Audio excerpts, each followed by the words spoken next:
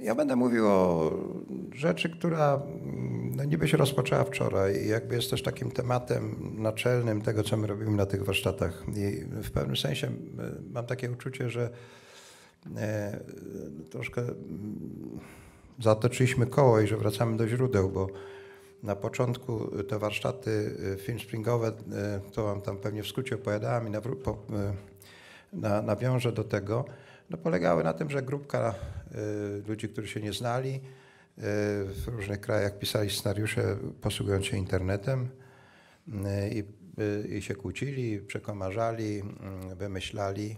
Mało tego, przygotowali ten film, bo myśmy nie mieli pieniędzy. No, był dokładnie ten sam problem, który przed chwileczką był poruszany, no brak pieniędzy. Było wiadomo, że Film Spring załatwia sprzęt, a ten sprzęt to wtedy była jakaś mini DV, kamera i dwie lampy na krzyż także no, jakieś kpiny. Natomiast wszystko inne oni załatwiali sami u siebie w domu, e, w swoich krajach, bo na początku to były dwa kraje, to były Niemcy i Szwajcaria, potem się dołączyli Skandynawowie, konkretnie Norwegia i Francuzi. Zresztą Francuzi z tej grupy są z nami do dzisiaj. Florent e, w tym roku jest ich go mniej, no bo mamy zły termin. Powinno, powinniśmy być na początku maja, a nie koniec maja, no ale tyle taki hotel nam wyznaczył termin.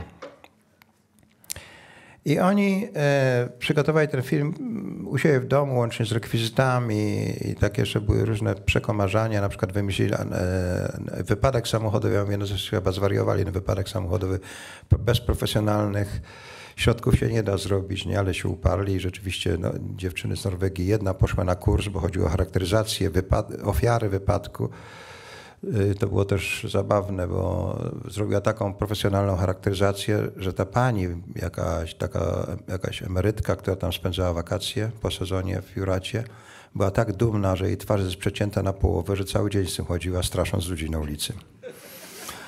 E, naprawdę świetnie to, to zrobiły. I ja e, cały ten, ten pomysł na ten, ten, ten wykład, który chcę, wykład, no, rozmowę, którą z wami tutaj przeprowadzić, to ona wynika z, jakby z moich doświadczeń. Ja zrobiłem 70 filmów, prawie 70, albo troszkę więcej 70, nigdy go nie doliczyłem tak naprawdę.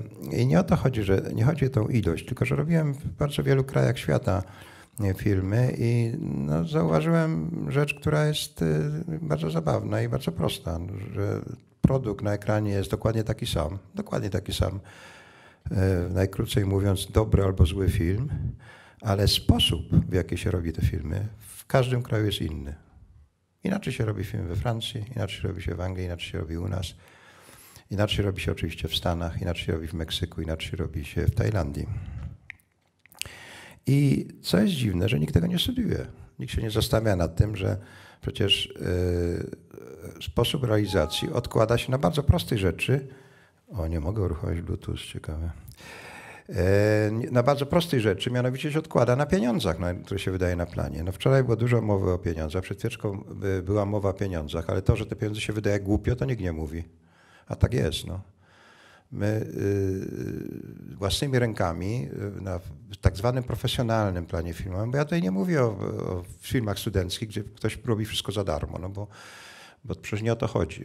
Nie po to uprawiacie ten zawód, nie po to studiujecie, nie po to chcecie go uprawiać, żeby całe życie robić za darmo. No, no chcecie robić filmy, które dadzą wam szansę, oprócz realizacji własnej pasji, dadzą wam szansę, żeby godnie żyć i E, I w związku z tym, jeżeli mamy uzdrowić ten system, to nie na, na zasadzie charytatywnej, tylko na zasadzie zdrowej, rozsądkowo zdrowej ekonomii. No a w tym celu e, trzeba się zastanowić, co można zmienić. No i chciałem się podzielić taką refleksją. I on zaczyna takiego żartu, bo to jest bardzo często, do tego się sprowadza, znaczy do tego się sprowadza, no tak zwykle przesadzam, ale E, ten wzór, który tutaj macie napisany, to był wzór, którego na serio nas uczył wykładowca w szkole filmowej. E, czyli bardzo prosto jest zrobić dobry film, jak widzicie. Materia plus przestrzeń plus czas podzielone przez elementy konfliktu. Do tego trzeba dodać elementy słowne plus muzyka i otrzymuje się świetny film. Także jak macie kłopoty z robieniem filmu, to proszę, tu macie podpowiedź, jak to robić. Ja to musiałem mieć na pamięć i musiałem zdawać przy egzaminie, musiałem to na tablicy realizować, a to się odbywało wszystko w jednej z najlepszych szkół na świecie, w szkole filmowej w Łodzi w latach 60. bo już tak stary jestem. No i to wszystko, co wiecie, tutaj jest napisane na ekranie, czyli artystów więcej jest niż widzów, a pieniędzy coraz mniej. To jest jasne. Wszyscy chcą być artystami. E, tak zwany widz już przestaje e, istnieć. E, z pojawieniem się internetu ta kategoria już jest po prostu zawahała. No a w Polsce, w Polsce jest to, co jest, 14 instytucji edukacyjnych, a w zeszłym roku na Festiwalu Narodowym w Gdyni było 13 filmów wyselekcjonowanych, no a co roku te szkoły wypuszczają absolwentów. Jak zobaczyliście przed chwileczką w, w, w prelekcji, no, te sprawy edukacyjne były poruszane. No, na przykład film Spring tam nie był wspomniany. No, ja nie, nie uważam, że to jest tak źle, co tu się z nami dzieje. E, myślę, że też powody są troszkę inne. E, I druga rzecz, która, e, jeżeli już mówimy o, praktycznie o tej analizie produkcyjnej, w jaki sposób te pieniądze są marnowane, to pewną rzeczą, która no, bardzo mnie dziwi, ale rozumiem mechanizm jej powstawania, to jest to, że my kopiujemy wzorce, które nas nie dotyczą. Czyli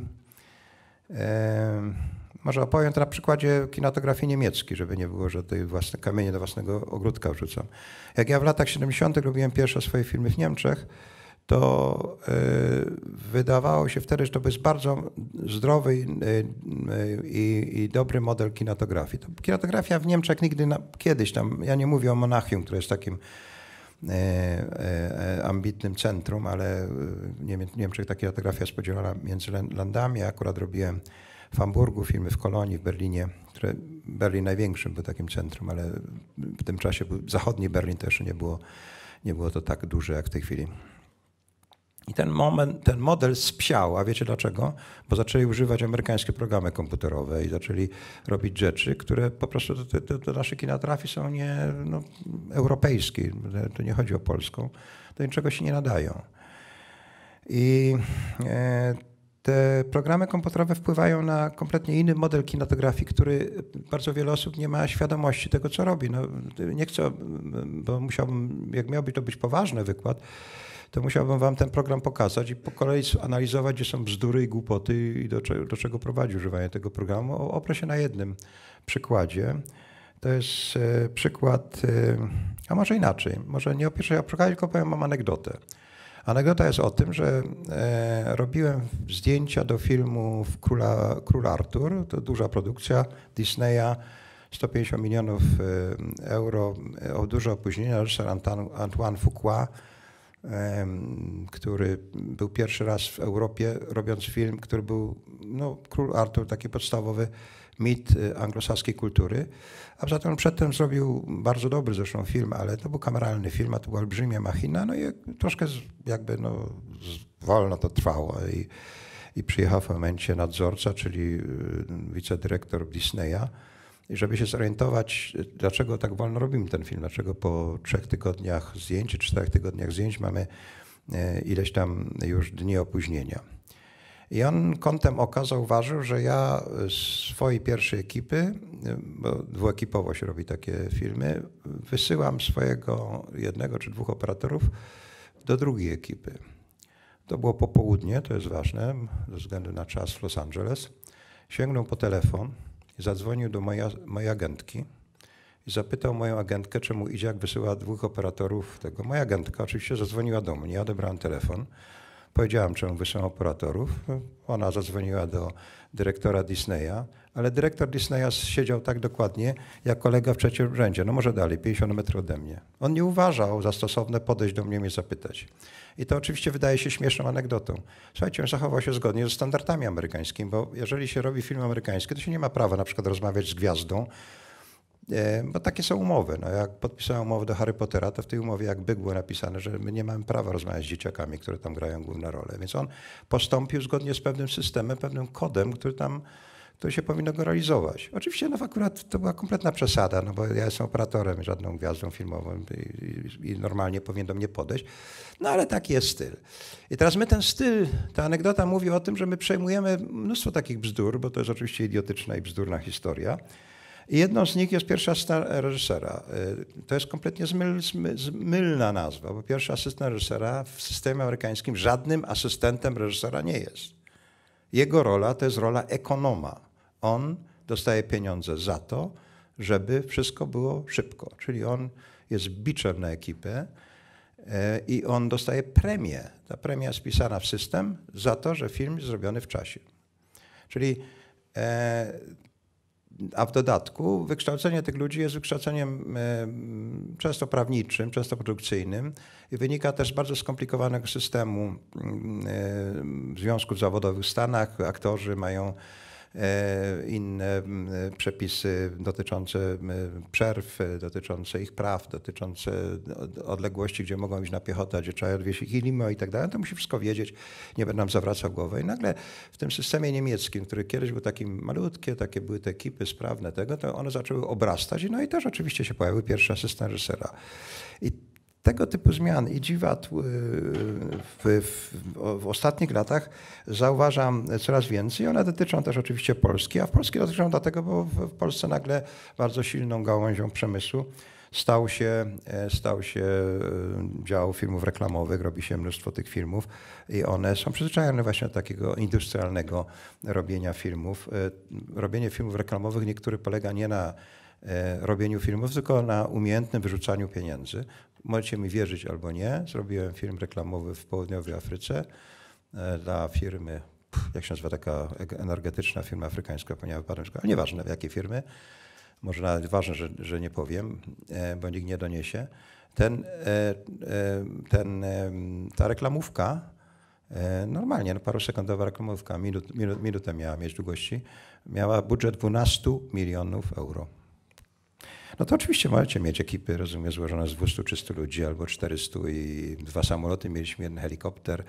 Jeden samolot woził tylko sprzęt, drugi ekipę. E, helikopter do, do, do robienia zdjęć z helikoptera. E, robiliśmy głupią reklamówkę, gdzie właśnie robiliśmy tylko tła do, tej, do, do reklamówki, bo ona właściwie była animowana. No, myśmy mieli tylko zrobić parę teł, żeby na to nałożyć animację. Robiliśmy dwa tygodnie jeżdżąc po całej południowej Afryce i przy okazji zwiedziłem całą Namibię. Piękny kraj zresztą, znaczy piękny w sensie jak ktoś lubi pustynię i dziki ocean. Czyli e, ten system, w którym my się znajdujemy i e, kopiujemy w pewnym sensie, no nie, nie zawsze jest zdrowy i potem e, później wam parę rzeczy opowiem, ale jak żeby tak to szybko przelecieć, to warto sobie uświadomić pewne bazy, na których to jest budowane. Filmowy pejzaż, co się zmienia, ciągle jest, co ciągle jest takie same. No i zacznijmy od tych rzeczy dynamicznych. To ciekawe, jak tak się przygląda historii europejskiego kina w takim wielkim skrócie, to jak mówimy o nowej, nie nowej fali, tylko włoskim, to właściwym właścicielem kina to był Rossellini. No, jeżeli no, mówimy o tym przykładzie, no to był jednocześnie producent, jednocześnie, jednocześnie reżyser, był prawdziwym bogiem. To była era w kinie europejskim reżyserskiego kina, możemy tak to nazwać w skrócie. Ale to bardzo szybko się zmieniło, bo jeżeli nagle młodzi ludzie zaczęli, szczególnie po wojnie, zaczęli chodzić bardzo do kin i, i a, w Stanach ten okres był niebywałego boomu. E, zrobiła się to gałąź gospodarki.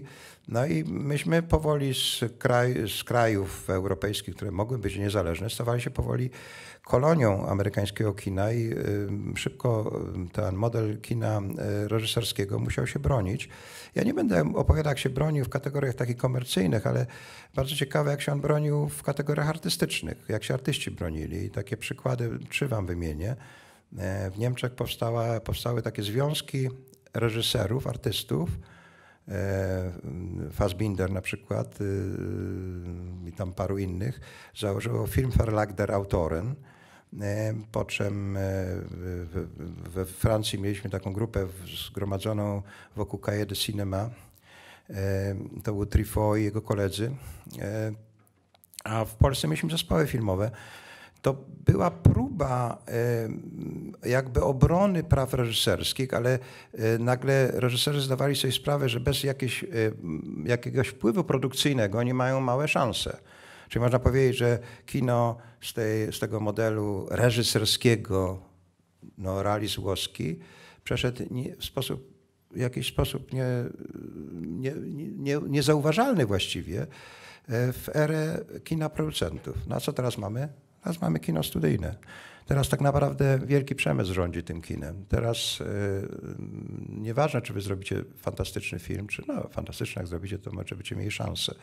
Ale ilość miejsc w, w, w, w kinach dla, dla kina narodowego jest ograniczona. Jeżdżąc między różnymi stolicami europejskimi, zobaczcie same blockbustery amerykańskie. No, w każdym z tych krajów zobaczycie jakieś dwa, trzy filmy narodowe, ale już zobaczyć e, atrakcyjny film niemiecki w polskim kinie, czy duński duński z, we Francji, no jest praktycznie niemożliwe, czyli y, to jest to, czym, co rządzi w tej chwili kinem, mówiąc o dynamice. Zmiany technologiczne, no to wiecie, no, zmiany technologiczne. Jak ja studiowałem w 60 latach w szkole filmowej, to miałem taką kamerę, która była wielkości pół tego pulpitu, za którym stoję i w pojedynkę na żaden statyw bym ją nie umieścił. Potrzebna tego było przynajmniej dwóch ludzi to się błyskawicznie e, zmieniło. Tutaj ta historia jest jeszcze raz dla przypomnienia Wam przedstawiona, bo warto ją, o niej pamiętać i w jakim, w jakim środowisku wydziałamy. No właśnie działamy w takim. Dla nas tak naprawdę fakt, że się o nas nie mówi, nas się nie wspomina o nas. Znaczy ja, przepraszam, że mówię, ja się strasznie młody czuję, jak jestem między Wami, ale tak naprawdę nie o mnie chodzi tutaj, tylko o Was chodzi. Y, no to jakby się nie mówi, no, bo, bo, bo, bo, bo o czym wspominałem e, na konferencji prasowej i po niej o tym szacownym kinie, że kino się właściwie w sensie zmiany pokolenia marnie ma, ma się, no, że ta zmiana pokolenia nie następuje tak szybko, jak e, powinna nastąpić. No, tutaj wypisałem takie różne głupkowate przykłady, jak to jest tym, e, tą zmianą technologiczną, ale rozmawiam z fachowcami, więc nie będę wam zawracał głowy, macie tego. No ale co jest ciekawe i to jest może y, jakby punktem wyjścia do moich rozważań na temat produkcji, jest to, co dotyczy systemu. To jest ta czwarta, na tych czwartych, czwór, czwór, czterech punktach, czyli dwóch dynamicznych i dwóch stałych, warto się na to zastanowić, że system jest ciągle ten sam. I on jest naprawdę głęboko zakorzeniony w naturze ludzkiej. I warto to zapamiętać. My wszyscy jako ludzie łatwo akceptujemy nowości, pod warunkiem, że to nie zmienia naszych przyzwyczajeń, naszej tradycji. I to często jest największą przeszkodą jakichkolwiek zmian. My bierzemy bardzo szybko narzędzie do ręki, nowe, ale już sposób wykorzystywania go, sposób współpracy jest dokładnie taki sam, jak był przedtem. I jeżeli będę mówił później o tych zmianach, które wydają mi się potrzebne i konieczne w systemie produkcyjnym, to one właśnie stąd wynikają. Że my akceptując nowe narzędzia, zamiast te narzędzia, które pozornie powinny usprawnić nasz system produkcyjny, praktycznie go wcale nie usprawniają. No więc e, przykłady praktyczne na planach filmowych, nie tylko amerykańskich, ilość osób jest taka sama, bo europejskich, polskich tak samo a powinna być mniejsza, bo po to te narzędzia powstawały, żeby tych ilość było mniej, ludzi było mniej. A druga rzecz, o której mówiłem na samym początku, że w różnych krajach się w różnych krajach yy, produkuje się filmy w kompletnie inny sposób, a, w, a, w, a, a, tego nikt nie studiuje. Kiedyś była taka zasada w średniowieczu, że jak czeladnik chciał być mistrzem, to musiał się udać w podróż. Musiał się udać w podróż przez różne kraje, żeby poznać techniki, sposoby innych, żeby wrócić e, wtedy do siebie i wtedy mógł zostać mistrzem, bo on oprócz tego, co się dowiedział u siebie, w swoim własnym kraju, w swoim własnym mieście, dzięki podróży dowiadał się czegoś więcej. A w kinie mam dokładnie tą zasadę polegającą na tym, że są zawody, które wędrują. No, mój zawód akurat E, szczęśliwie czy nieszczęśliwie jest zawodem uniwersalnym, bez mm, specjalnej znajomości języka można śmiało kręcić filmy na całym świecie. Natomiast zawód producenta jest zawodem lokalnym i w związku z tym często ci ludzie e, no po prostu tego się nauczyli w szkole filmowej czy gdzieś, czy gdzieś na jakimś planie i tak to robią. A ciekawe jest bardzo, bo to warto to przestudiować, że jak się e, na przykład w Warszawie przejdzie przez Wisłę i na ulicy Jagiellońskiej się wchodzi do E, do mm, CG Projekt, gdzie produkują Wiedźmina i tam oni opowiadają, jak oni to produkują, że oni e, mają praktycznie system robienia filmów bardzo podobny do, bo oni kupują, to jest młodsza siostra nasza, ale oni błędów takich, taki głupot, jakie my mamy w produkcji filmowej, nie popełniają. No, oni sobie to zresetowali. No, oni wybierali to, co jest słuszne i to, co funkcjonuje, a to, co nie funkcjonuje, po prostu wywalili. No i tak warto prześledzić troszeczkę te elementy. Ja to mogę nazwać jeszcze inaczej. Tu piszę system jaki jest, ale można to w skrócie nazwać narodziny, życie i śmierć y, młodego filmowca. No te narodziny to jest szkoła filmowa. Można by mówić na ten temat dwie godziny, ale generalnie szkoła filmowa y, edukuje na wczoraj i nie dlatego, że to tak łatwo powiedzieć. Ja bym nawet, gdyby ktoś mnie zapytał, jak zmienić edukację szkoły filmu, to bym nie wiedział, no bo to nie jest w tej chwili możliwe, bo dynamika zmian technologicznych pociąga niebywałą dynamikę zmian językowych i właściwie trzeba nie trudno sobie wymyślić, jak taką współczesną szkołę zbudować od początku inaczej, bo ani ją nie stać na to, żeby odświeżała swój park technologiczny, a z drugiej strony ludzie naprawdę dobrzy w przemyśle, czyli którzy są mistrzami w przemyśle, no nie mają czasu, żeby wykładać w szkołach filmowych, bo ani tam nie dostają tych pieniędzy, a poza tym kochają to, co lubią i nie, nie, niechętnie wykładają. Ja zresztą mm, to, że ja w ogóle zacząłem wykładać, to był kompletny przypadek, bo nagle w stanie wojennym znalazłem się bez środków do życia poza Polską. I jedyną szansę, żeby zarobić pieniądze za moje dziecko, które było malutkie, to było to, żeby uczyć. No i pamiętam, że zaprosił mnie mój kolega, który był kiedyś stypendystą w Polsce do Finlandii na wykłady. Dał mi fantastyczną szansę przez tydzień wykładów. Ja trzy dni poświęciłem, żeby do tych wykładów się przygotować. O godzinie 10 w Helsinkach zacząłem wykłady. O 12 już byłem totalnie spocony, bo jeszcze miałem tydzień wykładu przed sobą, a już skończyłem wszystkie swoje notatki. Nie wiedziałem, co mam dalej mówić. No. No i tak się zaczęła moja rola e, jako wykładowcy. Potem się jakoś nauczyłem, jak to zrobić. Zresztą nie będę tego mówił publicznie, ale jak ktoś chce znać definicję, jak trzeba nauczać, to prosi do mnie prywatnie zwrócić. Mm. E, szkoła na wczoraj e, edukuje też z innego powodu, który ciągle zapominamy. Znaczy w uczelniach zapominamy jednej rzeczy, która wydaje mi się jest pryncypialna w edukacji artystów. Jeżeli mam do czynienia z pisarzem, to odległość między jego potencjalnym dziełem sztuki i jego własnym umysłem, pomysłem, e, to jest długopis i czysta kartka papieru. To jest ta przeszkoda materialna, to jest to narzędzie. Muzyka to jest instrument muzyczny. Edukacja filmowca jest dużo bardziej skomplikowana przez fakt taki, że pomiędzy artystą i dziełem sztuki jest ściana pieniędzy. To jest potworny szmal który trzeba wydać, żeby film zrobić. I jakby szkoły filmowe zapominają o jednym, że dla młodego filmowca jedynym miejscem, gdzie on może znaleźć odpowiedź na pytanie, kim ja jestem jako artysta, jedynym miejscem, w którym on może eksperymentować, jedynym miejscem, w którym on się może wywrócić, to jest szkoła filmowa, bezkarnie wywrócić. Górale w Polsce mówią, jak się nie wywrócisz, to się nie nauczysz. No tak. Trzeba się wywrócić, żeby czegoś się o sobie dowiedzieć. To jest konieczne. Ale są wykładowcy, no, którzy stawiają studentom dwójki, no bo im się nie podoba ich film. No. Nie podoba im się, no i tyle. No, ale y, często ci wykładowcy zapominają, że sami robili same złe filmy, albo w ogóle nie robili żadnych filmów, bo często są też tacy wykładowcy. I że ten młody człowiek nie robi dla publiczności wieku moim, tylko robi dla publiczności zupełnie innej. A poza tym młody twórca poszukuje drogi. No jest tak, to nie chcę mówić na ten temat, mogę znowu mówić długo, długo na temat szkoły filmowej. Ale, no i potem następuje selekcja. No tak to jest, że, że tym podstawowym dokumentem do tej pory w, w jest scenariusz filmowy.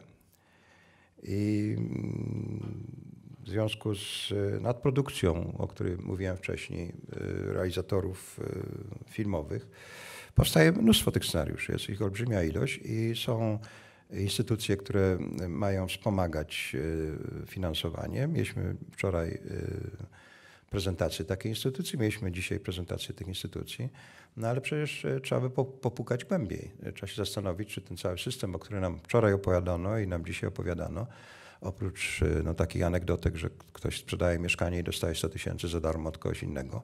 Bardzo bym chciał, tak, codziennie bym sprzedał mieszkanie, żeby ktoś dawał 100 tysięcy za darmo.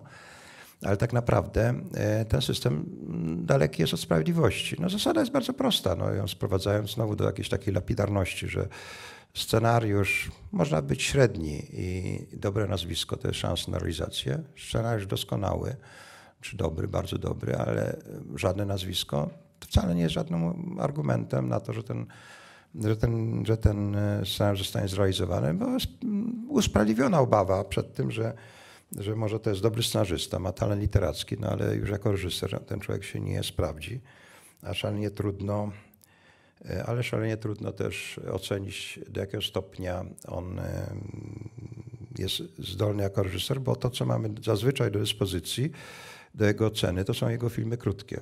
O tym już mówiłem e, dwa dni temu, że mm, jest, pewnym paradoksem to, właśnie w edukacji i w sposobie dochodzenia do zawodu, mówiąc o programie Film Springu, że mm, dla wielu z Was, bo oczywiście bardzo wielu z Was y, jest celem robienie dokumentalnych filmów czy krótkich form, ale dla wielu z Was ambicją i marzeniem jest robienie filmów fabularnych. I film fabularny, e,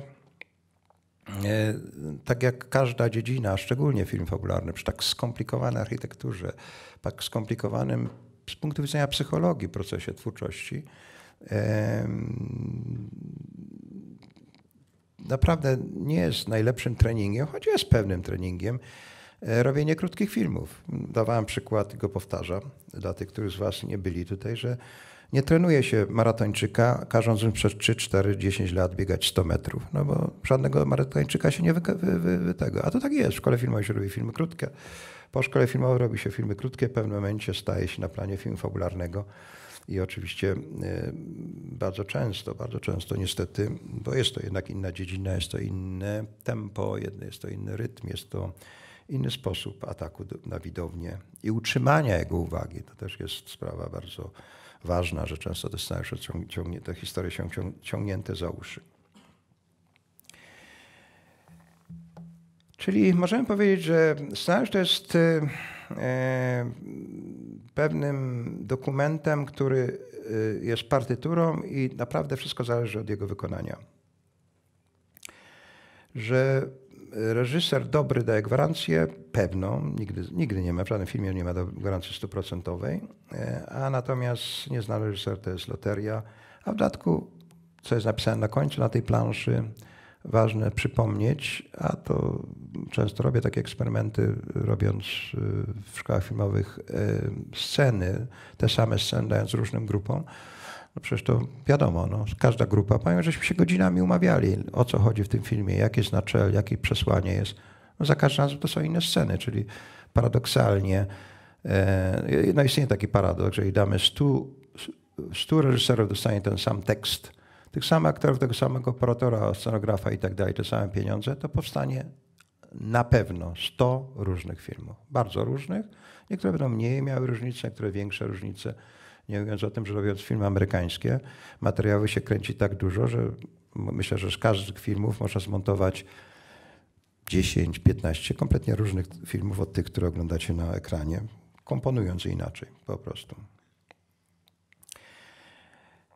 W dodatku istnieje coś takiego, co, e, czego my w Europie się jakby brzydzimy i się boimy, ale ja namawiam, że chcemy się przyglądnąć, bo oczywiście e, robiąc filmy wielkie studyjne, takie jak właśnie Harry Potter, czy robiąc gry komputerowe, e, używa się prewizów. Jak przyjechałem robiąc, robiąc Harry Pottera, to tam wprowadzili na taki korytarz 50 metrów długości. Po lewej był wyplakatowany połową filmu storyboardami, a jak się wracało, to była druga połowa filmu storyboardami, scena za sceną. I tak naprawdę te filmy tak trzeba zrealizować, a oprócz tego jeszcze były animatyki, czyli animowane sekwencje takich bardziej skomplikowanych scen, gdzie, te, gdzie połączenia między tymi efektami komputerowymi, CGI i i, i live e, e, action było bardziej skomplikowane, no to tam robili takie animatyki i tak naprawdę później te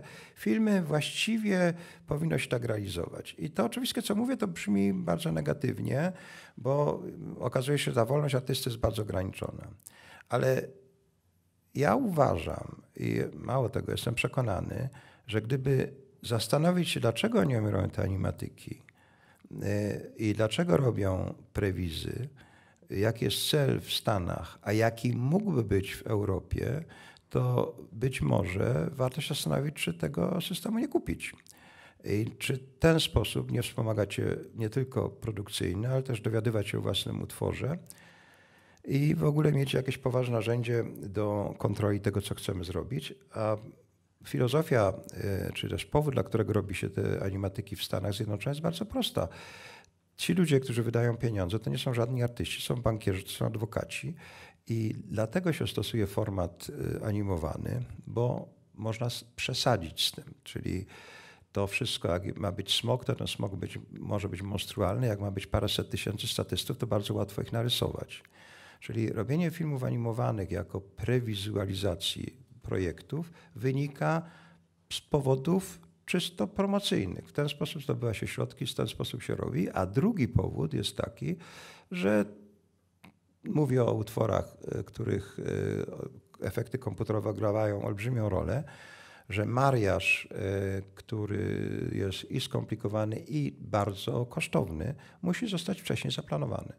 W Harry Potterze przesunięcie kadru do góry o, nie wiem, o parę centymetrów powoduje zwiększenie kosztów o parędziesiąt, parędziesiąt tysięcy dolarów, bo tyle więcej czy tam dołożyć efektów CGI. Czyli o tym, o tym no, trzeba e, pamiętać, że u nich to wynika z systemu przemysłowego i z systemu zdobywania pieniędzy. A przecież my możemy zastanowić się nad tym, e, do jakiego stopnia ten prewis pomoże nam odejść od tego, co nie dla wszystkich się sprawdza. Bo są ludzie, którzy są bardzo utalentowanymi potencjalnie reżyserami, ale wcale nie są utalentowanymi scenarzystami.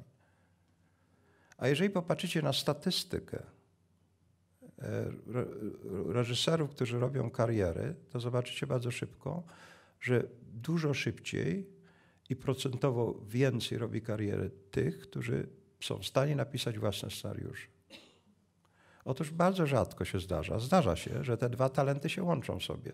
Że jest człowiek, co widzi dobrze, ma talent wizualny i jednocześnie ma dobre uszy, ma, ma talent literacki.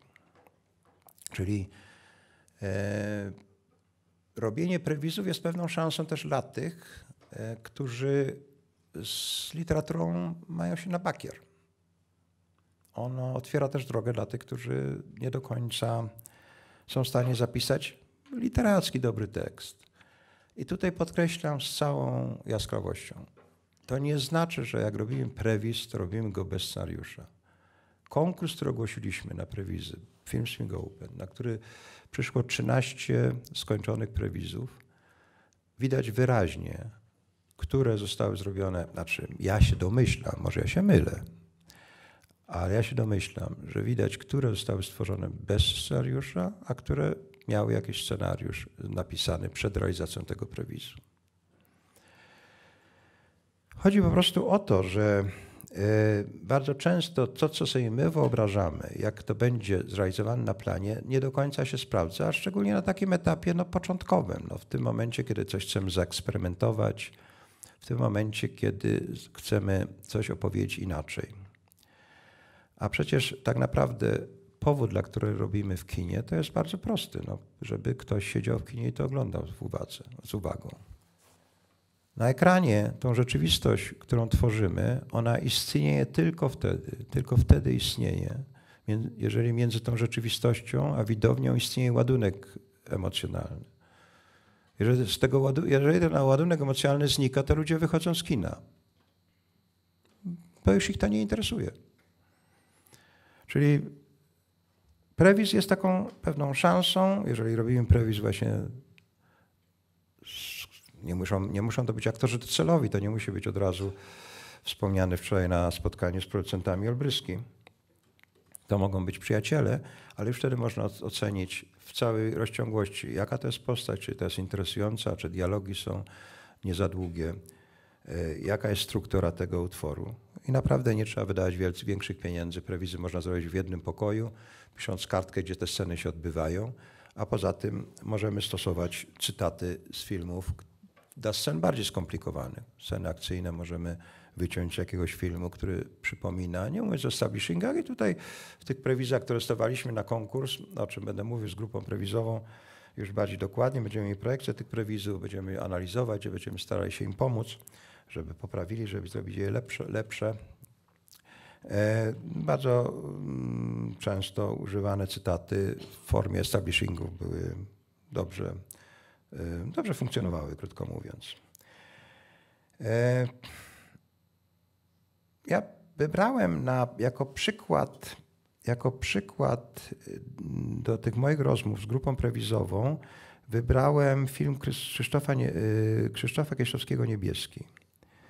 Bo ja to zrobiłem dlatego, bo, bo on był bardzo specyficznym twórcą, który przeszedł zupełnie inną drogą. Zresztą jest bardzo pozytywnym przykładem, jak inność doprowadza do sukcesu. On w tym czasie, jak myśmy studowali w szkole filmowej i wszyscy stroiliśmy się w pawie z piórka, on w tym czasie robił, robił filmy, um, robił filmy dokumentalne. A filmy dokumentalne właściwie powstają w montażowni, a on mało tego, że robił jeden za drugi z tych filmów dokumentalnych, to bardzo chętnie pomagał innym. Czyli jeżeli ktokolwiek z nas miał jakiekolwiek kłopoty z swoim filmem, to był to jedyny i pierwszy adres. Się do niego dzwoniłem, siadał, on kochał montaż i montował swoje filmy. E, montował, kochał montaż i, i uwielbiał doradzać, uwielbiał nam pomagać, mówić jak, jak zrobić, jak poprawiać. Krótko mówiąc, tak naprawdę wszystkie filmy Krzysztofa Kiesiowskiego powstały na stronie montażowym, czyli punkt startowy, scenariusz już w trakcie realizacji ulegał zmianie i myślę, że tych zmian było do 30-40%, czyli olbrzymie zmiany a potem kolejne 10, 15 czy nawet 20% zmieniano, zmieniał on w montażowni. Czyli odległość między scenariuszem a skończonym filmem zawsze była olbrzymia. I dlatego używam tego przykładu, bo można powiedzieć, że Krzysztof Kieślowski prewizował na własnym organizmie. On jakby umarł przez to, że wpakowywał się w sytuację niebywale trudną, no i jednocześnie robił różne rzeczy, które no, były niemożliwe do tego, żeby przeżyć, bo nie można po planie 12-godzinnym e, pracy iść do montażowni, montować 3 godziny i potem znowu rano wstawać po 4 godzinach spania i iść na plan i znowu kręcić 12 godzin w montażowni. No, po prostu to go zabiło.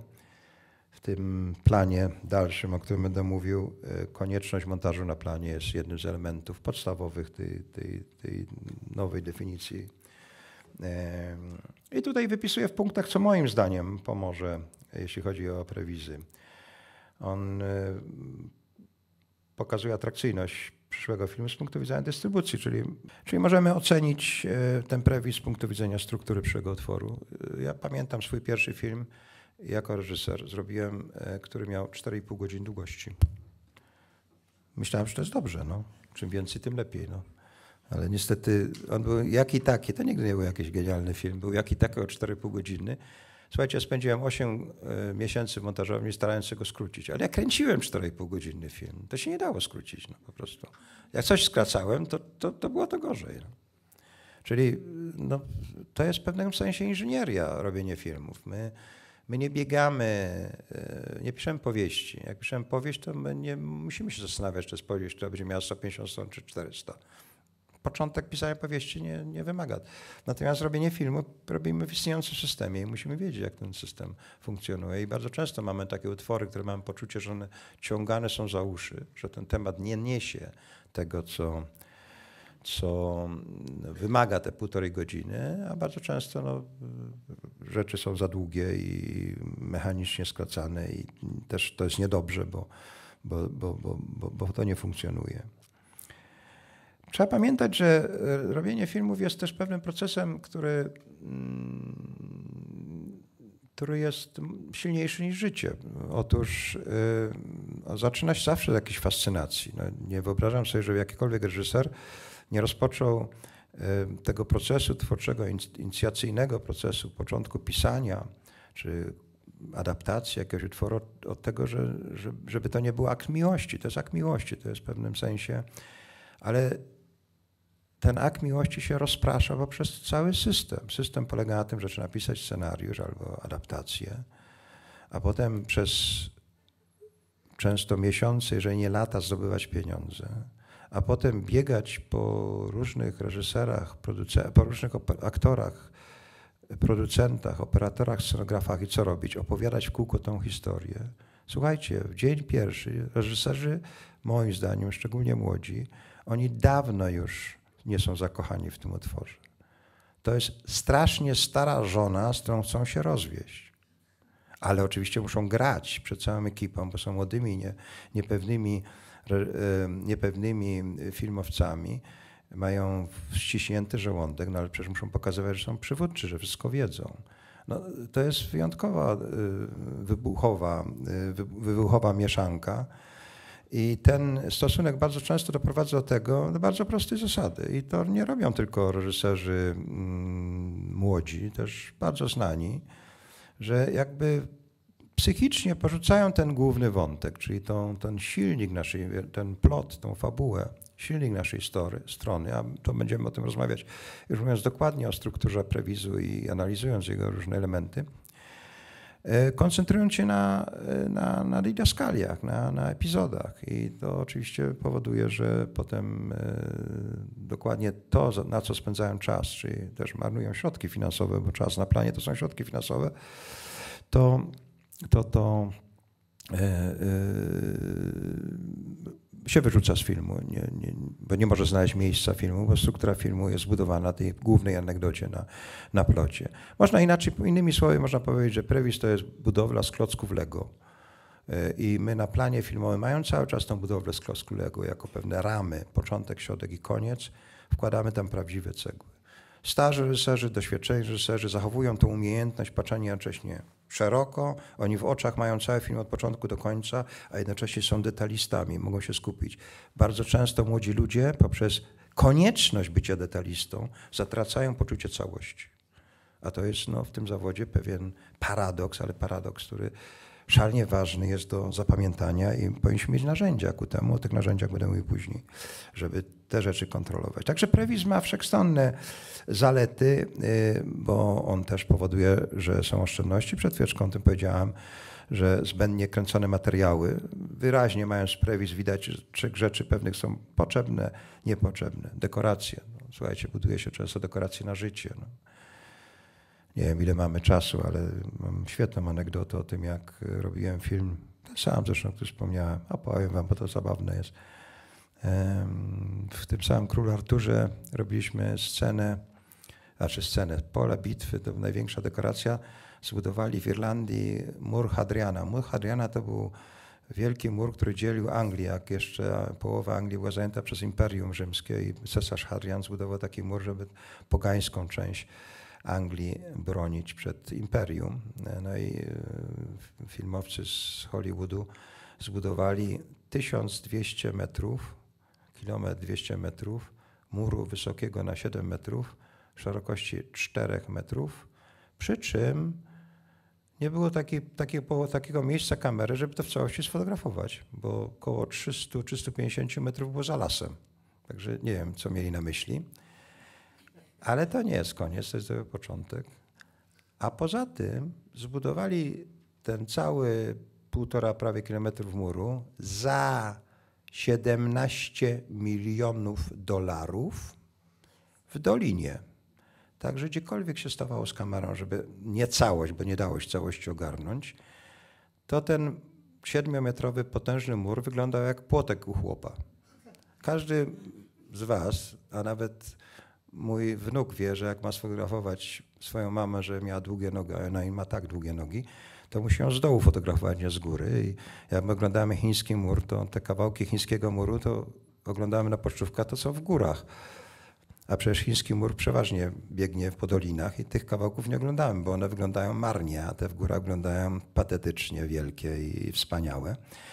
Więc y, mówiąc szczerze, ta decyzja y, była absurdalna, ale to nie koniec. E, otóż słońce wschodziło i zachodziło, no, no nie zupełnie, no, ostatnie pół godziny zachodziło za tym murem. Krótko mówiąc, ten mur, jeżeli mur jest tutaj, był oświetlony cały czas płasko. A ja tam miałem scenę bitewną, e, którą kręciliśmy, 100, e, kręciliśmy cały miesiąc. Krótko mówiąc, przez cały miesiąc 17 milionów dolarów miałem za swoimi plecami, bo każdy operator wie, że sceny akcyjne w płaskim świetle fotografować nie można. Bo się traci w tych dymach, nie traci tą całą architekturę, dynamikę scen. Czyli te 17 milionów dolarów tam się pojawia, no nie wiem, w 5% filmu, 6% filmu, a powinno być 50%. Także bardzo często y, to jest przykład absurdalny, bo dotyczy oczywiście Hollywoodu i was to może nie dotyczy, ale jeżeli macie mały budżet i ktoś e, w scenie, którą potrzebujecie zbudować e, w łazience, ktoś dobudowuje jeszcze przedpokój i kuchnię, no to jest to strata e, olbrzymia finansowa i dotyczy to bardzo wielu elementów w planowaniu sprzętu, planowaniu wszelkich, wszystkich elementów. Jeżeli dogadujemy się na poziomie literatury, każdy sobie to inaczej wyobraża, a tym samym planuje na zapas. I to jest naturalne w tym zawodzie, gdzie filozofia robienia filmu, o czym za chwileczkę powiem, sprawdza się do prostego zdania, ale nim, nim do tego dojdę, to jeszcze tutaj parę uwag na temat y, zalet prewizu. E, musicie pamiętać o tym, że e, dogadywanie się między poszczególnymi artystami jest bardzo skomplikowane. No, e, jeżeli dwie osoby gadają o obrazie, to mogą 24 godziny gadać o tym obrazie i tak każdy z nich będzie miał inną wizję tego obrazu. I to samo dotyczy muzyki. Robiąc prewis, możemy sobie pozwolić, zresztą co robi Wojtek Maczewski w programie Ekran, że się kręci jedną scenę i próbując jakiś konkretny efekt, Czyli czy to jest efekt wizualny, czy się robi makietę muzyki. Bardzo często e, w naszym zawodzie przegrywamy ze strachem.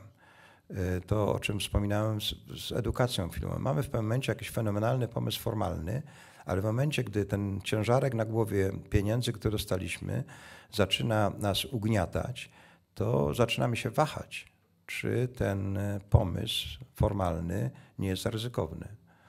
I wtedy, jak mówią Niemcy, wir gehen auf Nummer sicher. Idziemy na pewien pewnik, coś, co jest sprawdzone, a to niestety pierwszym warunkiem twórczości jest odkrywanie czegoś nowego, no, powtarzanie numerów po kimś innym. To, co zresztą jest nieszczęściem polskiego kina, no, ten tak zwane polskie kino gatunkowe jest filmem, które kopiuje wzorce. No, no po co oglądać kopie, jak można oglądać oryginały dużo lepsze. No. I, i, i, to, I tutaj y, prewis daje pewną szansę, że nie pewnie cały prewis, bo by to kosztowało za dużo, ale możecie spróbować y, wykorzystać pewne rzeczy, które.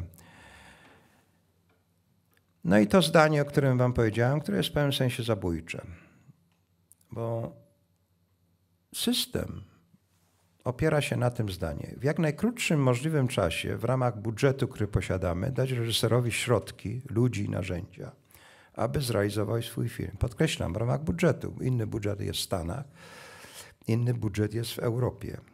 W Stanach to wygląda w ten sposób, że w pewnym sensie e, trzeba potrafić wydawać pieniądze. Ja o mało nie jestem wywalony, może moja cała kariera tam tak zwana amerykańska skończyła być na pierwszym filmie, bo jak ja przyjechałem robić pierwszy film w połownej północnej Karolinie, to po dwóch dniach zrobiła się zła atmosfera wokół mnie, bo zobaczyli moją listę sprzętu i pomyśleli, że jakiegoś idiotę sprowadzili, bo zamówił tylko jedną kamerę.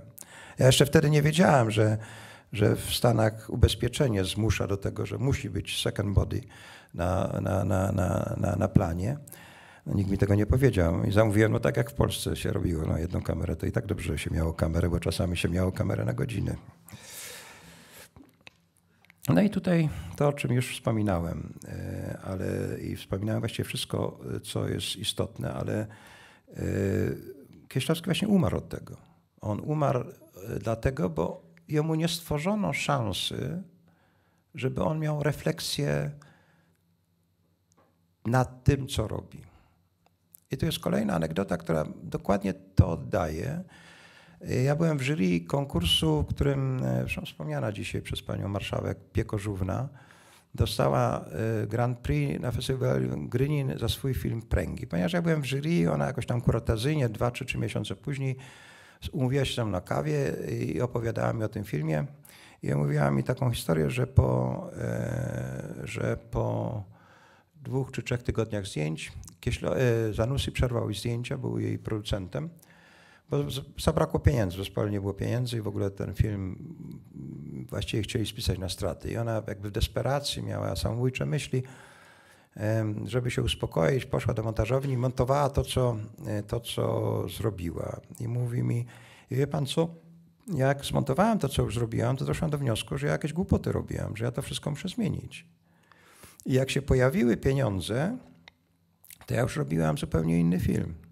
No i odpowiedziałam rzeczą, którą też usłyszałam, gdzieś przeczytałam, że Woody Allen zawsze robił tak filmy. Kiedyś, już teraz tak nie robi. Że kiedyś robił dokładnie w ten sposób, że angażował ekipę, robił e, parę rzeczy, e, ważnych scen, kluczowych scen w filmie, po czym je zwalniał, montował to, przepisywał scenariusz swój na nowo, wzywał ekipę i kończył ten film. Te przerwy były zaplanowane.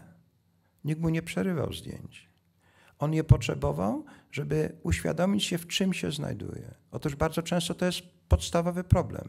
Kieślowski umarł dlatego, bo on chciał wiedzieć, w jakim filmie się znajduje. A żeby to wiedzieć, to musiał ten film montować w trakcie.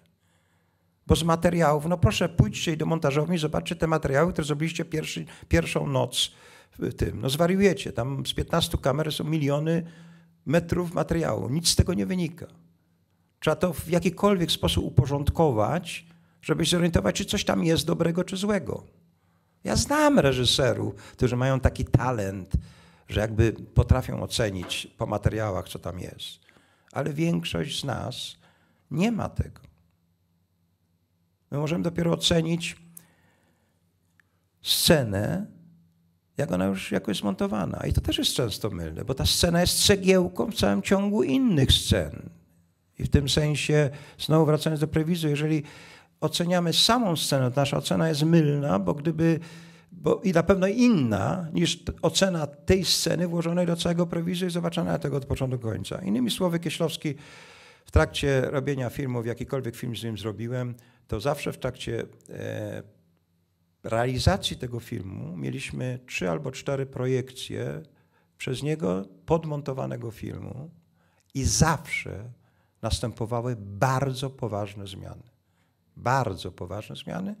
Przykład.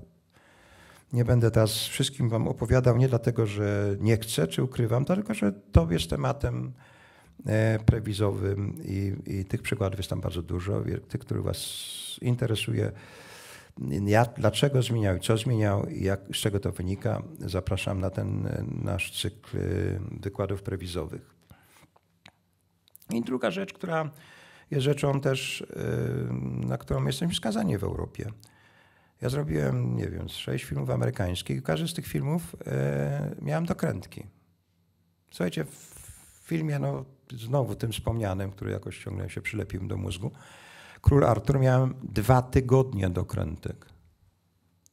Dwa tygodnie to często się w Europie robi film fabularny albo jest to 50% zdjęć, a myśmy mieli dokrętek do tego filmu, a przetrwaliśmy, e, kręcili ten film 18 tygodni.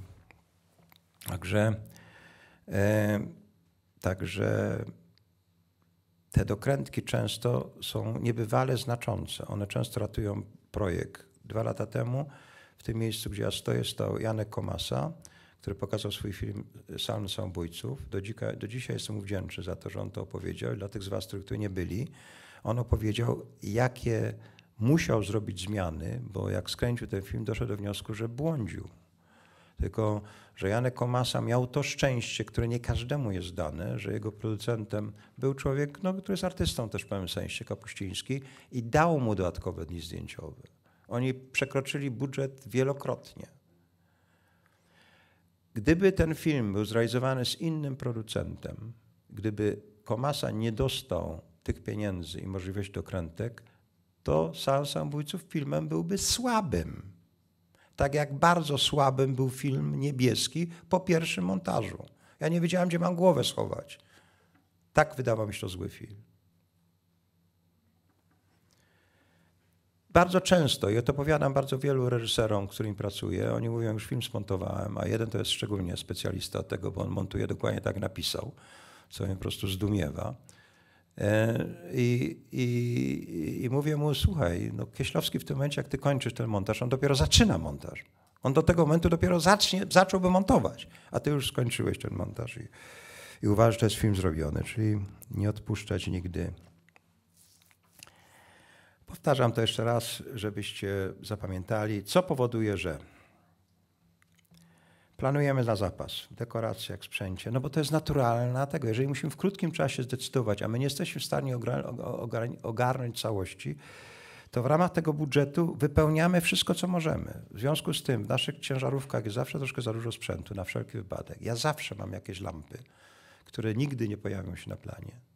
A kostiumolog ma zawsze jakieś kostiumy, które nigdy nie zostaną wykorzystane. Tych rzeczy, które, się, które mamy robionych na zapas, to są realne pieniądze. Nie mówiąc o środkach transportowych, o których będę mówił później.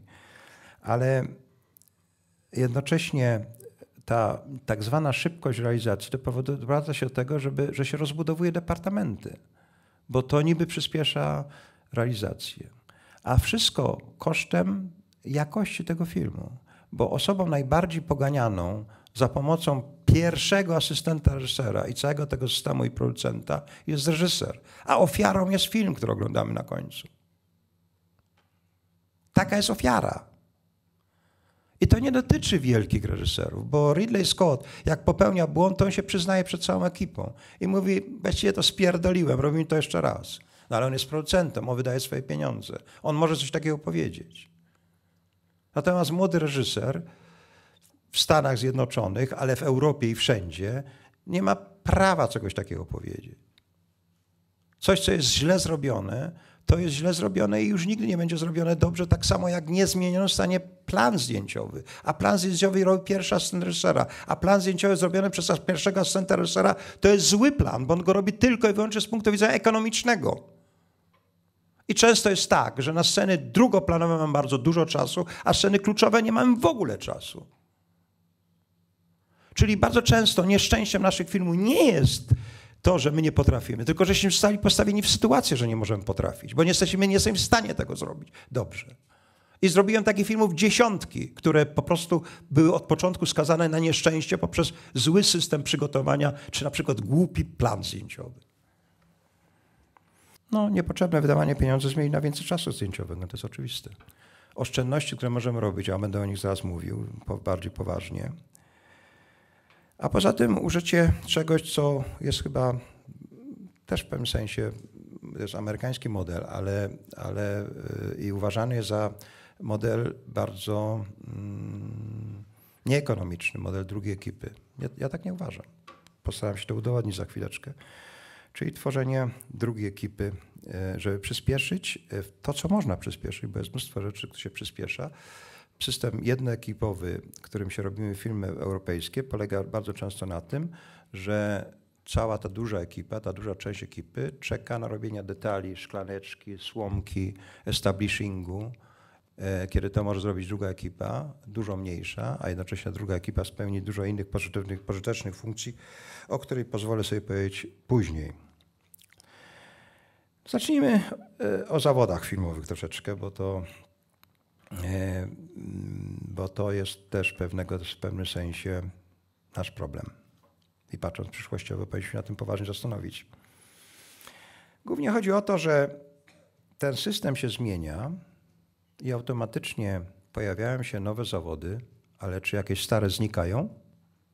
Nie, nic nie znika. Pojawiają się, bo się pojawiają. I to na przykład, y, jeśli chodzi o zawody wizualne, to ja robiłem film fabularny kiedyś, kiedy cały, cała, cały film był zbudowany na trójce operatorskiej, czyli operator Szwękier, ale nie zawsze Szwękier. Ja dużo film robiłem, gdzie byłem, tylko miałem asystenta Hania Jednaka, który robił ostrość. On był jednocześnie kierowcą jeździliśmy samochodem, tam mieliśmy sprzęt. A potem reszta to była obróbka w laboratorium i robienie kopii. I to była cała sprawa operatorska. No w tej chwili już tak filmu się nie robi. No w tej chwili musi być ktoś, to ktoś to nagrywa, jeszcze jest jakiś digital imaging technician, jeszcze jest yy, postprodukcja, robi się właściwie półprodukty. No w tej chwili ja jak patrzę przez kamerę, to kiedyś widziałem 100% to, co widzą widzowie, a w tej chwili resztę, o czym mówiłem przedtem, wykonują kompletnie nowe zawody. Mm, w tym sensie tracimy też poczucie autorstwa. Tak naprawdę nie wiadomo, kto jest autorem filmowym. I przypominam wam, jak John Say dostał nagrodę Oscara za jakiś film z braci Cohen i, i, i pokazują zawsze kawałek filmu i on wchodząc i odbierając Oscara mówi, właściwie to przez pomyłkę tu chyba się znalazłem, bo wszystko, co pokazaliście na ekranie, to, zrobili, to zrobiła druga ekipa. Gratuluję wam, chłopcy.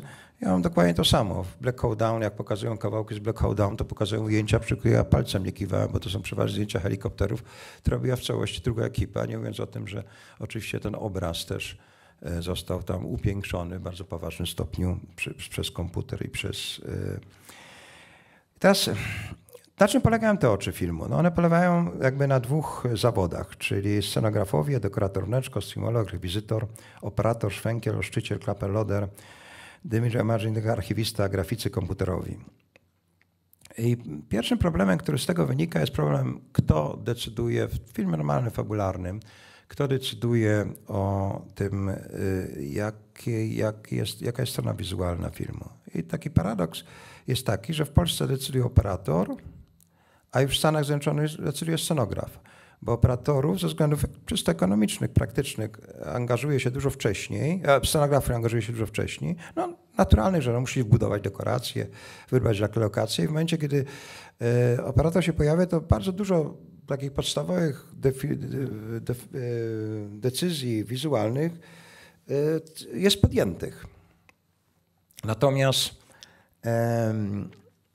w Europie przez taką tradycję, ja mówię szczególnie o Polsce, bo to nie, nie dotyczy całej Europy, bo różnych krajach jest różnie, e, tym zawodem, który e, jest zapraszany pierwszy do współpracy, może już w tej chwili troszkę się też zmieniło, ale za moich czasów, to był operator, który zazwyczaj też był zobowiązany do tego, żeby siedzieć nad, nad, nad coś, czymś takim, cośmy robili scenopis, a to właściwie była zawsze nowa wersja scenariusza i i w tym sensie operator jakby e, wpływał na kształt e, wizualny filmu. Ja nie dlatego, że uprawiam ten zawód e, operatora, uważam, że ten model jest bardziej nowoczesny, chociażby z tego względu, że scenograf, czasem wielki artysta, on tak praktycznie nigdy nie jest na planie zdjęciowym. On, on no, przygotowuje kolejny obieg, on nie ma do czynienia z czymś, co jest no, codziennością planu filmowego, od strony technicznej zacząwszy po część inscenizacyjną. E, nasza dramaturgia też zależy od jakich miejscach się znajdujemy, jak te, jak te miejsca się odkrywają, jak te miejsca funkcjonują w całej tej interakcji między bohaterami filmów i tymi tłami, tak zwaną tą, tą scenografią, e, którą budujemy. Czyli e, Myślę, że a przykład o, o murze jest przykładem no, bardzo takim drastycznym, ale dokładnie takim, no, że już w tym czasie można było ten mur w większości zrobić właściwie w komputerze i nie, nie trzeba było budować takiej dekoracji. Na pewno było tańsze. Nie mówiąc o tym, no, że nie, nigdy tak nieszczęśliwie nie zostałby zbudowany, gdyby operator został poproszony o radę. No, to takie rzeczy by się nie zdarzyły. Wymieniam to dlatego, bo y, jak widzicie, tu się pojawiło bardzo dużo zawodów, które są dodatkowe. No, jeśli chodzi o operatora, no to od, po klaperloderze, no, który jest takim zawodem, ja wiem, do końca potrzebnym, też nie wiem, bo bardzo często to jest papierologia. Myśmy jak z Henią pracowali, to on w obiad ładował kolejnych 10 kaset i nie było żadnego klapeladora potrzebnego. I się kręciło. I robiliśmy film fałtarzany, tam ja mówię o filmach fabularnych. No i teraz przejdźmy przez te zawody. Konflikt wizji, o tym mówię. Kto odpowiada za całość? Tak naprawdę nie wiadomo. Przykłady dawałem. W dodatku co jest też istotne, że scenograf zazwyczaj na początku się pojawia produkcji filmowej i w tym procesie wydawania pieniędzy jest mu łatwiej wydać więcej, bo jeszcze te pieniądze nie są wydane. Jak my się pojawiamy, mówię w tym takim większym produkcji filmowej, to często już te budżety są troszkę skromniejsze, bo on robi jakieś przekroczenia, ale, e, e, ale bardzo często e, już na tym etapie operatorskim kiedy wchodzimy w, produkcję, e, tych pieniędzy nie ma. I stąd zresztą wynika, że scenografowie bardzo, bardziej budują na życie niż na, na, na plan filmowy, do planu filmowego. I teraz rola w małych filmach. Bo tak naprawdę ja, używając tych wielkich, tych wielkich przykładów, tak wcale nie mam na myśli wielkich filmów. Mnie wielkie filmy nie obchodzi. Jak ktoś ma dużo pieniędzy, on nie sobie wydaje jak chce. I, I, sam to z przyjemnością robię. Jak jest parę milionów więcej, to z przyjemnością zamawiam dwie dodatkowe ciężarówki światła. No, jak ich stać, to czemu ja nie mam mieć z tego jakiejś przyjemności, nowych zabawek na planie? Natomiast w małych filmach, filmach, które wy będziecie robić, każda złotówka się liczy i Zaczynając się nad rolą scenografa, który zazwyczaj, zazwyczaj się ogranicza do tego, że wybiera się istniejące lokacje i właściwie często no, coś tam przemaluje, jakąś ścianę mm, albo coś tam spatynuje. No ale, ale, ale do niego, to potrzebujemy do tego scenografa, to nie może tego operator zrobić. A w dodatku edukacja scenografów jest edukacją nie filmową, nie dramaturgiczną. Bardzo często są ludzie, którzy pochodzenie jest Akademia Sztuk Pięknych czy architektura. Czyli oni już z punktu widzenia edukacji niewiele o tym wiedzą. Ciekawe, czy na sali siedzi jeden scenograf. Mogę się założyć, że nie. Nigdy ich tu nie ma. Nigdy nie przyjadą. Ich to nie obchodzi, no. bo oni budują. No to nie jest dobra postawa, mówiąc szczerze. Czyli Czyli dosyć istotnym jest to, żeby się zastanowić, jak zmienić ten model e, wizualny z punktu widzenia scenografa. A teraz przypatrzmy się operatorowi. No, mówiłem, widziałem 100% tego, co widzowie fetem w kinie. Ten bardzo się zdewaluuje i to prawda. Kiedyś e, przy technice realizacji za pomocą jednej kamery, która już powoli odchodzi do lamusa, nie zawsze. I ja, słuchajcie, mówiąc o jakiejś tam w cudzysłowie nowoczesności, nigdy nie uważam, że jedno zabija drugie. No, będą reżyserzy i operatorzy, będą robili dalej jedną kamerą i będą ci, którzy będą uważali, że wielokamerowość jest, jest nowoczesna i przyspiesza, czy daje większą szansę. Ale bardzo ciekawym zjawiskiem jest to zjawisko, które musimy odnotować. Otóż w sensie pozycji w planie, w ekipie filmowej operatora, który był bardzo wysoko umieszczony, właściwie zajmuje montażysta. Wynika to z bardzo prostej zasady, że my kręcimy szalenie dużo, bo materiał jest tani. Filmy fabularne kiedyś robiło w Europie w stosunku 1 do 20, do, dobrych filmów do 40. W Polsce mieliśmy filmy, gdy się robiło 1 do 5, 5. Bardzo się zastanawialiśmy nad tym, co robić właściwie wszystko, co się kręciło, to się powinno znaleźć w filmie. W tej chwili e, rośnie pokolenie, które e, używając e, języka komputerowego jest pokoleniem what you see is what you get. Wy musicie zobaczyć, żeby potwierdzić, że coś funkcjonuje czy nie. Bo macie te zabawki, macie od razu automat, z automatu widzicie ten automat u nas nie istniał. Ja zaczynałem swoje filmy, gdzie patrzyłem przez taśmę filmową, gdzie w ogóle nic nie było widać, tylko cienie filmowe. Ja nie, nie, nie robiłem swoich pierwszych szkolnych filmów w kamerze refleksowej, która dawała już czysty obrazek. I dopiero po tygodniu czy po dwóch tygodniach przychodził materiał z laboratorium, widziałem, co dostaję. W dodatku ta technika była niedoskonała. Mówimy o 14 blendach latitude rozpiętości. No ja, jak ja miałem 5 blend rozpiętości, to było dużo. Popełnienie błędu jakiegokolwiek w ekspozycji, w oświetleniu. No, tragicznie się to odbywało, czyli wszystko musiało powstawać tu, w głowie. Ja jestem kompletnie inaczej przygotowany zawodowo. Ja nie, to nie jest żadna krytyka. To, to ja po prostu mówiłem, że jest inaczej. To tylko stwierdzenie faktu. Ale w związku z tym, że w tej chwili się robi i się widzi i się robi dużo, bardzo dużo i właściwie bardzo często mam do czynienia z produktami, co wiecie, że są świetnie sfotografowane, ale tak naprawdę kontentowo są marne to zawód montażysty jest zawodem ważniejszym, bo selekcja jest istotna. A w dodatku montażysta jest tą osobą, która jest w pośrodku pomiędzy często operatorem, który odchodzi, bo za chwileczkę przychodzą komputerowi artyści i oni zaczynają decydować. A tak naprawdę decyduje reżyser.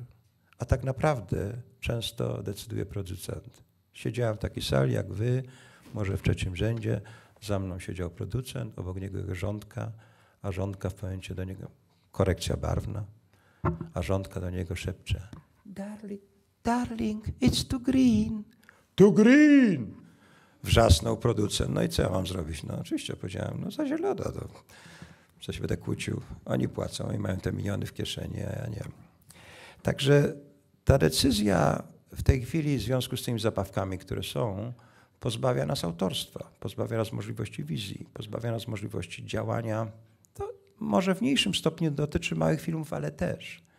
Bo w tej, w tej chwili reżyser, który siedzi przy monitorze, on ocenia to, co widzi na monitorze, często zapominając, że złe luty są tam włożone i że to, co ogląda, nie ma nic wspólnego z tym, co powstanie, a że tak naprawdę ten materiał, który jest w kamerze, to jest dopiero rzecz do obróbki, że tak naprawdę operator powinien mieć tą szansę, bo ma szansę też i ma wiedzę, co można z tym materiałem zrobić. Ja zawsze walczyłem w swoich filmach o to, żeby to, co y, chciałbym uzyskać, żeby dostać y, w kopii roboczej. W nocy jeździłem do laboratorium, telefony wykonywałem, tłumaczyłem z bardzo prostego powodu. Każdy reżyser, każdy producent przyzwyczaja się do pewnego widoku filmu i nawet jeżeli jest to jest źle, i nawet jeżeli tam są błędy, to oni potem tego nie chcą zmieniać. To jest dokładnie ten efekt, jak młoda parka, małżeństwo i urodziło się dziecko. Obcy człowiek patrzy w rękach jakieś totalne szkaradzeństwo, no jakieś, jakieś no po prostu jakaś małpa obrośnięta. A co mamusia i tatuś krzyczy? Jakie śliczne, jakie cud, no i jej, jakie oczka. No. No tak się dzieje. I tak dokładnie się zachowują reżyserzy i producenci, jak widzą film swój na końcu. Zawsze się tak zachowują, bo to jest ich ukochane dziecko. Czyli te zabawki też są, są zabawkami groźnymi. One często uniemożliwiają zrobienie czy oryginalnych. Wręcz nie pozwalają na to, żeby zrobić. Jak mogło być? Bo po co krytykować? Visual director. I słuchajcie, mówię to z całą odpowiedzialnością. To nie o to chodzi, że operator idzie, jak mówi, żeby operatorzy przejęli to. To może być też scenograf. To jest nieważne kto. W tej chwili obrona zawodu operatorów, który powoli znika na naszych oczach, to nie jest zawód, który już będzie funkcjonował tak, jak funkcjonował kiedyś. To jest obrona pewnej integralnej wizji. Nie trzeba mieć wykształcenia technicznego, żeby zrobić w tej chwili w kamerze dobry obraz. Jeżeli robimy, jeżeli ma, robimy HDR-y, mamy rozpiętość taką, że możemy mieć z tego wszystko. Przy tej technologii, która już jest niebywała, a będzie jeszcze lepsza. Czyli na tak naprawdę jest potrzebny artysta, który odpowiada na, od początku do końca i on powinien być i scenografem, i operatorem. On powinien być odpowiedzialny za całość wizji filmu. Jeżeli mówimy, że nasze podstawowe instynkty, talenty są skupione w oczach i uszach, to to powinny być oczy filmu. Ten visual director. Ja wiem, że to jest ewolucja daleko posunięta, ale naprawdę zastanówcie się nad tym, jak planujecie swoje małe filmy, czy to nie powinno być w jednych rękach. Kogoś, kto nadzoruje to od początku do końca, łącznie z postprodukcją. To nie jest tak, że musi być w niewoli inżynierów czy innych artystów. Rodowód artystyczny wizji filmu, obojętnie kto ją przejmuje, to przejmuje reżyser, ale też nie jest odpowiedzialny od początku do końca. Czyli tutaj, tutaj oczywiście taka możliwość jest, no i w związku z tym idą pewne logistyczne problemy. E, mianowicie drugi operator to nie może być, nie może być szwękierem, ale partnerem. No i pytanie, czy to jest możliwe. To myśmy sprawdzili już na film Spring Open. Myśmy na początku robili filmy grupowe i za każdym razem było operatorów parunastu i codziennie inny operator świecił, a inny przygotowywał plan. I funkcjonowało to świetnie i to są filmy integralne. Jak chcecie to sprawdzić, to oglądnijcie sobie na naszej stronie film pod tytułem Crossing Pass. To jest robione, to, są, to jest film, bardzo przyzwoity film moim zdaniem. E, robiony jest przez how many directors, Florent? Florent was one of them. 10, 12, 12 directors, 12 reżyserów i 12 operatorów. I nie macie, nie będziecie mieli uczucia, że to zrobił, zrobił e, artysta, e, że, to, że, że to jest tak zbiorowa praca. Jest poczucie, że to jest zrobione przez jednego człowieka. Czyli jeżeli macie operatora, partnera, drugiego operatora, to on wam też przygotowuje drugi plan oświetleniowo. On wam przygotowuje tę pracę i nie ma żadnych problemów potem też z autorstwem, bo wy decydujecie o tym, ale macie kolegę, który jakby realizuje to, co, co wy chcecie, yy, chcecie osiągnąć na planie. No teraz kolejny przykład. Słuchajcie, ja troszkę skaczę, bo jak ja bym chciał to opowiadać po kolei tak wszystko, to by to wam trzymał was do, do nocy. Tu jest mój kolega na sali. Mateusz jesteś? Uciekł. Ja powiedziałem, że będę go krytykował. Mateusz mówi, ja, mistrz oświetlenia, bardzo utalentowany, ja jazdy układać nie będę nigdy. No, taka jest jego, to jest mój przyjaciel, ja go bardzo lubię, ale myślę, że jest w błędzie. Otóż e, no, Mateusza znacie, światło wam robi. On nie będzie nigdy ustał jazdę. Ja cię lubię, Wisławek, ale u, u ciebie jazdy nie będę ustał nigdy. Ja robiłem film w Meksyku. W Meksyku miałem mistrza oświetlenia, Indianina i całego, jak, cały jego team to, był, to byli Indianie. I oni robili wszystko. Oni robili jazdę, oni robili tylko mały lekarz w ekipie, był członkiem jego ekipy. Słuchajcie, pracowali trzykrotnie szybciej. Nie było dokładnie tego, co jest, y, co jest y, w Europie. No. W plenerze oświetlacze słonko, kawka, zasuwają gripowcy, robią jazdy, ustawiają, przestawiają i tak dalej. Wnętrze, małe wnętrze szczególnie, nie ma miejsca, żeby tam wiele jazd ustawiać. Elektrycy spoceni, gripowcy, kawka. Tego. Każdy z tych działów ma swój, swoją ciężarówkę czy czwartej ciężarówki wożą powietrze. W każdej z tych ciężarówce jest. To są tam narzędzia, drabinki, kamuflaże, magic arms i tak dalej, i tak dalej. Krótko mówiąc, jedni kawka, drudzy pracują. Oszczędności znaczne. Tempo, przyspieszenie znaczne. Mówię to jako doświadczony operator. I nie mam żadnej wątpliwości, że nie, o, żadnej, o żadnej godności zawodowej tu nie ma mowy. To jest po prostu chronienie pewnej złej tradycji, która była naturalna ileś lat temu. Była naturalna, bo dolka ważyła 12, 1200 kg. W związku z tym potrzeba było 8 osób, żeby ją położyć na szyny, bo była taka ciężka.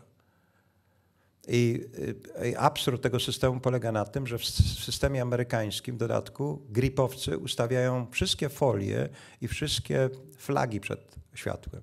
Czyli jak się posyła 200 metrów od planu oświetlacza i mu się każe przesunąć lampę, i, i krzyczę mu tam w prawo, ale w tym momencie, jak ja widzę, że on przesuwa prawo, że lepiej byłoby tą flagę tam przesunąć troszeczkę i to już zrobi tą robotę. Mówię, zostaw, zostaw tą lampę, tą flagę tam przesuń. No. Tam za Beatą tą flagę troszkę tego, w lewo. To wiecie, co on odpowie? Świetna idea, ale to nie mój department. I zasuwa gripowiec te 200 metrów, żeby przesunąć flagę. On nie tknie tej flagi. Tak jest w Stanach. A nie daj Boże, stanę kamerą przy tej ścianie. Znaczy, tej ścianie to nie rozbiorą, ale w dekoracji, jak tylko stanę przy tej ścianie, to cały zespół gripów, których tam jest oczywiście 20, ściany nie ma. No bo musi być... A jak przywiozłem, chyba pierwszy raz przywiozłem do Ameryki e, dolkę pod tytułem Panther niemiecką, jak im prosiłem, żeby zrobili jazdę, to zrobili jazdę w następujący sposób. Postawili te swoje szyny, a oni mają takie szyny składane, które każde, każde się ostawia osobno i te poprzeczki też osobno. Więc to jest cholernie duża robota. Na to postawili taką monstrualną ich tak zwaną western dolly. Bo na tej western dolly wszyscy się muszą zmieścić. Reżyser i dźwiękowiec i tak dalej. A na to wszystko postawili Pantera. Szkoda, że nie zrobiłem tego zdjęcia, bo to jest historyczne zdjęcie, jak ten panter, jeden wózek stał na drugim wózku. No ale największa kinatografia świata no, ciągle się trzyma takich swoich standardów, no ale ich stać na to. Oni, oni nie są zmuszeni do tego, żeby robić jakąkolwiek rewolucję. Bo zarabiają kupę szmalu. No, jak zarabiają kupę szmalu, to niech sobie wyrzucają go przez okno. Ale my nie zarabiamy kupę szmalu. Mało tego, tego szmalu nie mamy. No, to nie powinniśmy go wyrzucać przez okno i powinniśmy, powinniśmy coś mi tu przeskoczyło, nie? Aha, tak. No i montażysta, o którym mówiłem e, już wcześniej, e, Kiedyś kierał, co to było, a teraz e, jest prawdziwym dyrygentem, reżyserem przyszłej kompozycji. Bardzo często tak jest. Musicie być bardzo ostrożni z tego powodu i z tym montażystą jest pewien problem, bo oczywiście ten zawód przez tą swoją ewolucję zyskał taką nową jakość i w takim systemie, jak się film montuje w tej chwili, że montaż odbywa się poza planem, a często tak naprawdę po zakończeniu zdjęć, powoduje to, że reżyser w jakiejś mierze traci kontrolę nad tym, co ma.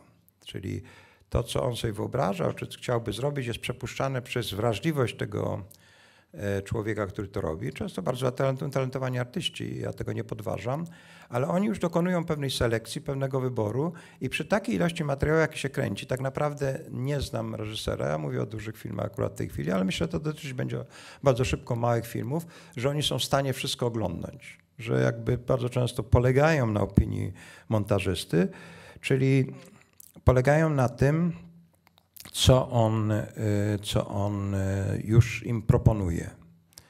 I ja uważam, a miałem tą przyjemność pracowania, odwołuję się jeszcze raz y, do tego nazwiska i ono będzie tu często padało, Krzysztof Kieślowski, bo Kieślowski był na pewno przyzwoitym scenarzystą, na pewno był dobrym reżyserem, ale był mistrzem świata w montażu filmów. On to robił sam. On nikomu tego, oczywiście miał montażystkę, ktoś musiał robić porządek montażowy i tak dalej, ale on kochał nożyczki, kochał sklejać i, i był fantastyczny dzięki milionom godzin, które spędzał w montażowni. On nie dopuszczał nikogo do procesu montażu. I on powiedział takie zdanie, które bardzo głęboko pamiętam. Montaż to jest dla mnie odkrywanie duszy filmu na nowo. Ja dzięki montażowi oglądam, odkrywam duszę filmu na nowo. Dzisiaj wieczorem będziecie oglądali tutaj, zapraszam serdecznie, bardzo prościutki film pod tytułem Inny świat. Siedzi starsza pani, aktorka, niektórym z Was bardzo dobrze znany, Danuta Szaflarska i opowiada. Zastanówcie się, na czym polega wartość tego filmu, na jego kompozycji, na jego montażu. Jak Dorocie, wy razem to podpisaliście, czy osobno? Bo Artur wszystko, już sobie poszli. e, e, jak jej się udało ten film bardzo zmontować? Niewątpliwie wartość tego filmu polega na kompozycji, na montażu. Znaczy nie tylko oczywiście charyzmatyczna, wspaniała postać i poprowadzenie i tak dalej, ale, ale wspaniale skomponowany film. Więc warto się nad tym zastanowić. I e, to do tyle, tyle do montażysty, co może być konieczna obec, obecność na planie filmu. Dlaczego oni nie są na planie filmowym? No kiedyś technologicznie to było niemożliwe oczywiście, a w tej chwili kamera eksportuje dokładnie w pliku, który oni mogą od razu na planie montować. Co daje reżyserowi natychmiastową informację, jaka scena jest, powstaje. Od razu to wie. Dlaczego oni muszą montować poza planem? Mało tego, jest jakby porozumienie między, o intencjach mowa, nie? czyli reżyser jakoś tam ma swoją wizję. Więc ten montażysta no, tak jakby montuje troszkę w tym kierunku. Oczywiście on może mieć swoje zdanie, on może zaproponować swoją jakąś inną wizję, ale no, niech da szansę temu człowiekowi, który jest tym twórcą numer jeden, żeby zrobił y, to w taki sposób. A jednocześnie montując za planie, daje to szansę montowania też różnych wersji filmu, bo można też próbować. On nie zgadza się do końca z reżyserem, ma inny pomysł, no to niech zrobi swoją wersję i wtedy się ją weryfikuje. Słuchajcie, operator filmu, operator dźwięku, znowu e, jest tu operator dźwięku, Bartek, któregośmy sami zaprosili, ale tak naprawdę bardzo rzadko się pojawiają na tego typu, i to nie chodzi o film speak, ale operatorzy dźwięku traktują ten zawód troszkę za bardzo rzemieślniczo, a przecież to jest równorzędny, artystyczny środek wyrazu jak obraz. I myślę, że w pewnym sensie wiedza dramaturgiczna mm, jest konieczna przy wykonywaniu tego zawodu. A w dodatku z e, operatorami dźwięku jest dokładnie ten sam problem jak z, z obrazem. Jest rodzaj autorstwa rozproszonego. Operator na planie dźwięku nagrywa często bardzo ciekawe, bardzo interesujące tła. To ten przekazuje montażowni i postprodukcji. Myślicie, że oni to wszystko przeglądają, te tysiące taśmy i dźwięków tego. Im oczywiście wygodne wziąć coś z archiwum. I znowu przyjrzyjcie się niektórym wybitnym filmom i zamknijcie oczy, jak niebywale mocne, dobrze dobrane efekty wpływają na naszą imersję, na nasze zanurzenie się w ten ekran. Jak ta cała sfera dźwiękowa jest ważna. Fakt, że dźwięk nagrywany na planie jest przekazywany do kolejnych y, specjalistów, którzy mają fantastyczne zabawki, cudowne zabawki, ale traci się pewną integralność, traci się ci ludzie nigdy na planie. Jak dostałem nominację na Oscara, to siedziałem przy stole, gdzie siedziało paru facetów, którzy dostali akurat przy, przy tym filmie Oscara i każdy z nich miał paręnaście Oscarów, no bo oni robią, oni są dobrzy w tych klockach, robią zawsze duże filmy i te filmy zazwyczaj mają Oscary, także dla nich właściwie co sezon przychodzą na tę samą kolację Oscarową i mają dużą gwarancję, że znowu dostaną kolejnego Oscara. Mają cudowne narzędzia, ale czy oni wykorzystują to, to wszystko, co jest potencją rzeczy nagrane na planie? No, szczerze w to wątpię. Piszę, jak mogło być, dla przypomnienia. Jeszcze dotyczy to takich praktycznych rzeczy. No, na przykład już wszyscy jesteśmy gotowi, światło jest gotowe, operator dźwięku zaczyna majstrować przy wsadzaniu mikrofonu w kostium. Gdyby tak policzyć, policzyć czas, jaki się marnuje przy przygotowaniu kostiumu do nagrywania dźwięku, a potem też e, różnych uwag, że ten materiał szeleści i to właściwie Dlaczego tego się nie robi przed planem? Dlatego, dlaczego głównie aktorzy nie mają zarejestrowanych, zamocowanych y, y, mikroportów od samego początku już w garderobie? Nie mogę tego zrozumieć. Dlaczego y, operatorzy dźwięku bardzo rzadko jeżdżą na, na odbiór, nie na odbiór, wybór lokacji? A potem narzekają, że pociąg przejeżdża co chwilę. No ja też jestem głuchy, mnie to nie interesuje na planie, jak na dokumentacji, jakie tam dźwięki z echa z boku dochodzą, a często są lokacje wybrane, które są rzeczywiście niedobre z punktu widzenia dźwiękowego. Ale to też jest ich wina, bo oni się nie zaangażują za wcześnie w przygotowywanie do filmu i warto by to zmienić. Warto by do, doprowadzić do tego, że jest to artysta równorzędny stronie wizualnej filmu, bo tak to jest i ta strona często jest potraktowana po macoszemu.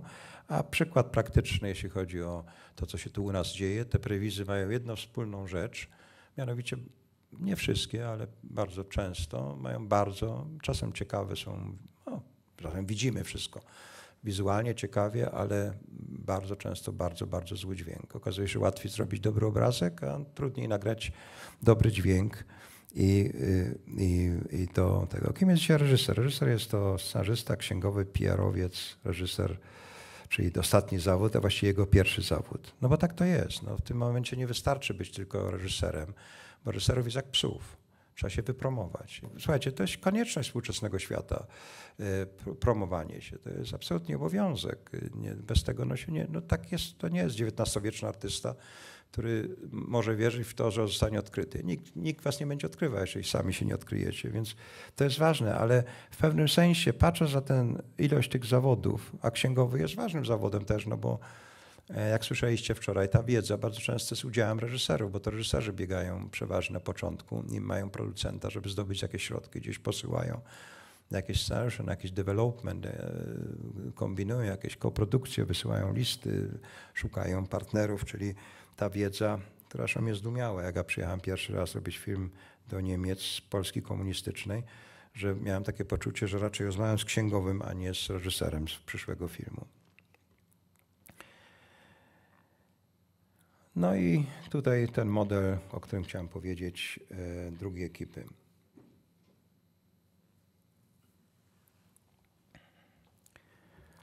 Reżyser, e, który chce być odpowiedzialny za wszystko, bardzo często w tym odpowiedzialności za, czysto, za wszystko zatraca, y, zatraca swoją wrażliwość. Y, ja powiem taką przesadną anegdotę, ale jak robiłem z Andrzejem Fajdą, dwa filmy robiłem, jako szwękier, drugi jako operator, to on zawsze śpi na planie.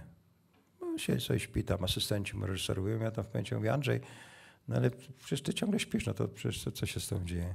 A mówi, Sławek, mówi, jak ja się budzę i coś mnie zaskoczy, to to znaczy, że jest dobre. A jak się budzę i nic ciekawego nie wiem, to znaczy, że jest złe. Oczywiście no, to jest anegdota bardzo przesadna i, i on potrafi być bardzo energetyczny i tak dalej, ale ta rola reżysera, który jest człowieka z dystansu, takim pierwszego widza, który naprawdę nie skupia się na wszystkich głupstwach, jest, jest na pewno lepsza niż rola e, reżysera, który tak jest zaperzony, że stoi przed aktorem i mówi do niego 15 minut. I mówi, i mówi, i mówi. I ten aktor tak coraz bardziej się dziwi i mówi do tego reżysera w pewnym momencie, proszę pana, przecież ja mam tylko powiedzieć nie, to jak ja mam to wsadzić wszystko, co mi pan tutaj gada? No i to jest właśnie ten przykład często E, zapędzonego młodego człowieka, który już nie widzi utworu, który powstaje, on go widzi poprzez swój własny filtr, poprzez swoją własną wizję. Tylko my naprawdę jesteśmy właścicielami dzieł sztuki, które robimy. I mogę zapewnić Was, że ten, co tak widzi ten film, że bardzo często błądzi. I to widziałem nieraz na planach filmowych. O producentach już mówiłem, więc to przeskakuję, bo długo strasznie gadam. Chodzi o przyszły model produkcji, ludzi, którzy są y, gotowi na zmiany. I y, przykładem, no, no nie chcę bardzo krytykować, bo dziękuję młodym producentom Skipy, którzy się wczoraj pojawili, ale oni no, tak naprawdę odmalowali to, co jest, o czym no, bardzo dużo was wie. I no, nie usłyszałem niczego wczoraj takiego, co by dawało pewną nadzieję, że możemy ten świat zmienić produkcyjny. A przecież to w pewnej mierze powinno od ich analizy to wynikać. I namawiam na, e, na to, żeby, żeby myśląc o produkcji filmowej jako, jako, jako nowym zawodzie, myśleć no, kreatywnie, bo e, zdobywanie pieniędzy oczywiście jest strasznie ważne, ale też e, dużo bardziej ważniejsze jest to, ze względu na pewien zdrowy ekonomiczny rachunek, żeby jeżeli się wydaje te pieniądze, żeby było widać na ekranie, a nie żeby wydawać pieniądze głupio. A my wydajemy jak głupio. No my chcemy, jesteśmy w trakcie tego, ten konkurs na Previs nie skończył się takim sukcesem, żebyśmy byli przekonani, to jury, no to nie ja, to jest y, cała grupa osób, y, jury. Było reprezentatywne, właściwie wszystkie instytucje polskie, które y, finansują filmy, zresztą łącznie z krakowską komisją tutaj, ale i PiS, i Nina, i Telewizja Polska, i Orange się w to włączył. I Krakowska-Katowicka Szkoła Filmowa w tym była. No, bardzo reprezentatywny Platyszy Masz, CG Project ze świata gier. No, nie zdecydowała dać żadnemu z tych prewizów nagrodę. E, a myśmy chcieli ten nagrodzony film wyprodukować w tym nowym systemie jako case study, czyli nie gadać o tym, bo ja wiem, że z tych słów kompletnie nic nie wynika. No, wy to usłyszycie, pokiwacie głowami, no ale co z tego wynika? No, trzeba spróbować, no, trzeba zrobić ten mechanizm, doprowadzić. I tak mówię, nie studencki film, ludzie mają zarobić przy tym filmie, tylko, tylko zrobić go na nowych, zdrowych zasadach finansowych. Jednym z elementów, który, jest, e, który zostawiłem na koniec, e, bo to nie ja będę prezentował, no jest ograniczenie tego, co jest kolejnym e, nadużyciem. Jak jesteście na planie filmowym, to widzicie tam tych mnóstwo ciężarówek. No i analizując to tak blisko, no tak naprawdę można spróbować zrobić coś, co jest jednym pojazdem i my, wygląda na to, że nam się uda, choć w dalszym ciągu jest to bardziej projekt na papierze. Robert Haciński wam zaraz przyjedzie, zaraz wam to pokażę, taki model 3D e, Cinebusa. Wychodzimy z założenia, że można zrobić film mały, aktorski, którym jedynym pojazdem na planie będzie taki autobus i będzie tam miejsce na dwie, dwa stanowiska make-upowe, jakaś garderoba, czy będzie taka część artystyczna i część techniczna i, ta, i to wszystko będzie mogło, y, mogło mm, być y, małym postprodukcyjnym studio, bo jest też jednocześnie sala projekcyjna. Robert, zaczynaj swoją prezentację. Podstawą był y, normalny, produkcyjny autobus marki Autosan. Spotykaliśmy się głównie na internecie i dyskutowaliśmy, jak ta sprawa powinna wyglądać. E, zaczęli, zaczynaliśmy od takich szkiców. Gdzie możemy zrobić garderobę, gdzie możemy ustawić część techniczną tego autobusu. To co, to, co widać, to są po prostu pierwsze szkice. Zaraz pokażę model trójwymiarowy, uproszczony oczywiście. Tutaj widać z grubsza opis. W tym autobusie głównie, e, e, patrząc od początku, jest taki mały, e, mały, my to tak nazywamy socjal, czyli można spożyć tam posiłek jakiś, odpocząć chwilę. Potem jest garderoba razem z charakteryzatornią. Za charakteryzatornią zaczyna się miejsce, w którym siedzi operator. E, tam ma podgląd na planie w dobrych warunkach. To, to nie jest operator, to jest Video Village, to jest e, Wi Video Village, no tak. Pogląd z planu. Podgląd z planu. E, dalej jest jakby część techniczna, uzbrajanie kamer, robienie backupów. montaż. My później żeśmy to pewnie tą, tą ideę troszeczkę zmienili. Co jest ciekawe w ogóle w tej idei, że ten autobus nie jest tylko jakby pojazdem, który służy do produkcji filmów, ale też za pomocą, w tym autobusie powstała taka idea, żeby umieścić w nim w środku projektor, E, i na zewnątrz zrobić takie mini kino, które, w którym można po prostu obejrzeć dailisy czy, czy y, jakiś premontaż, y, wymienić, wymienić swoje opinie na temat tego, co się zrobiło. E, no tak, tak ogólnie to wygląda w rzucie z góry i zaraz pokażę y, wam następną jakby fazę robienia tego projektu. E, już za pomocą programu CAD, gdzie nie jest to wtedy szkicowanie, nie, nie, zważając, nie zwracając uwagi y, na to, co się szkicuje. Jest tu już konkretna, mm, y, konkretne wymiary i konkretne jakby rozmowy o tym, co się da zrobić na takim podwoziu, a co się nie da. Przygotowaliśmy taki model, łączyliśmy się razem przez internet, dyskutując o tym i jakby ustalaliśmy, jak to ma wyglądać? Przerwę. Znaczy, cały ten projekt jest roboczym projektem parunastu szefów różnych działów, czyli oświetlacze, dźwiękowcy, montażyści, że reprezentant tych zawodów, jeden oczywiście, nie, nie wielu, reżyser. E, no, każ, każda z tych działów konsultowała swoje potrzeby i oczywiście na jakieś tam kompromisy musieliśmy iść. To jest projekt, e, znaczy podział tego projektu jest zbiorowy. E, zacznijmy tutaj może od góry. Oczywiście do autobusu, do standardowej konstrukcji autobusu w uzgodnieniu z projektantami dodaliśmy coś, co ma jakby dwie podstawowe funkcje. Pierwsza funkcja to jest w czasie przejazdu, jest to jakby kryty bagażnik. Po rozłożeniu, oczywiście te segmenty się tutaj powtarzają przez całą długość, po rozłożeniu otrzymujemy miejsce, na którym możemy ustawić kamerę, y, na którym możemy, nie wiem, rozwinąć anteny dla, dla, dla, dla dźwięku, dla, dla podglądu z planu. Wozi e, się tam, poczekaj, dodam, wozi się tam wszystkie rzeczy duże, drabiny, statywy duże, e, szyny, czyli to wszystko, co jest, co może być wystawione na deszcz, choć przewidujemy plandekę i też wodzi się tam elementy do budowania tych namiotów, bo kino będzie w namiocie i będzie tutaj taka markiza duża, która będzie częścią socjalną po drugiej stronie tego autobusu. Czyli ta cała część na dachu tego autobusu jest wykorzystana jako część transportowa. E, z tyłu jest rozkładana drabina, za, za pomocą w bardzo bezpieczny sposób można się na ten dach dostać, e, nic tam nam nie grozi. I tutaj zacznijmy może od tyłu.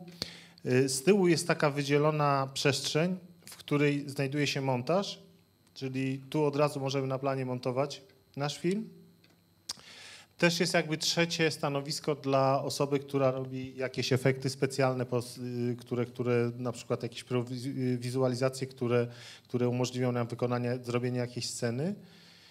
Y, dalej tu od tej strony, to co pokazuje, jest miejsce do jakby całej obsługi kamery filmowej, czyli miejsce, w którym zakłada się obiektywy, miejsce, w którym się czyści kamery, y, sprawdza się sprzęt i tak dalej.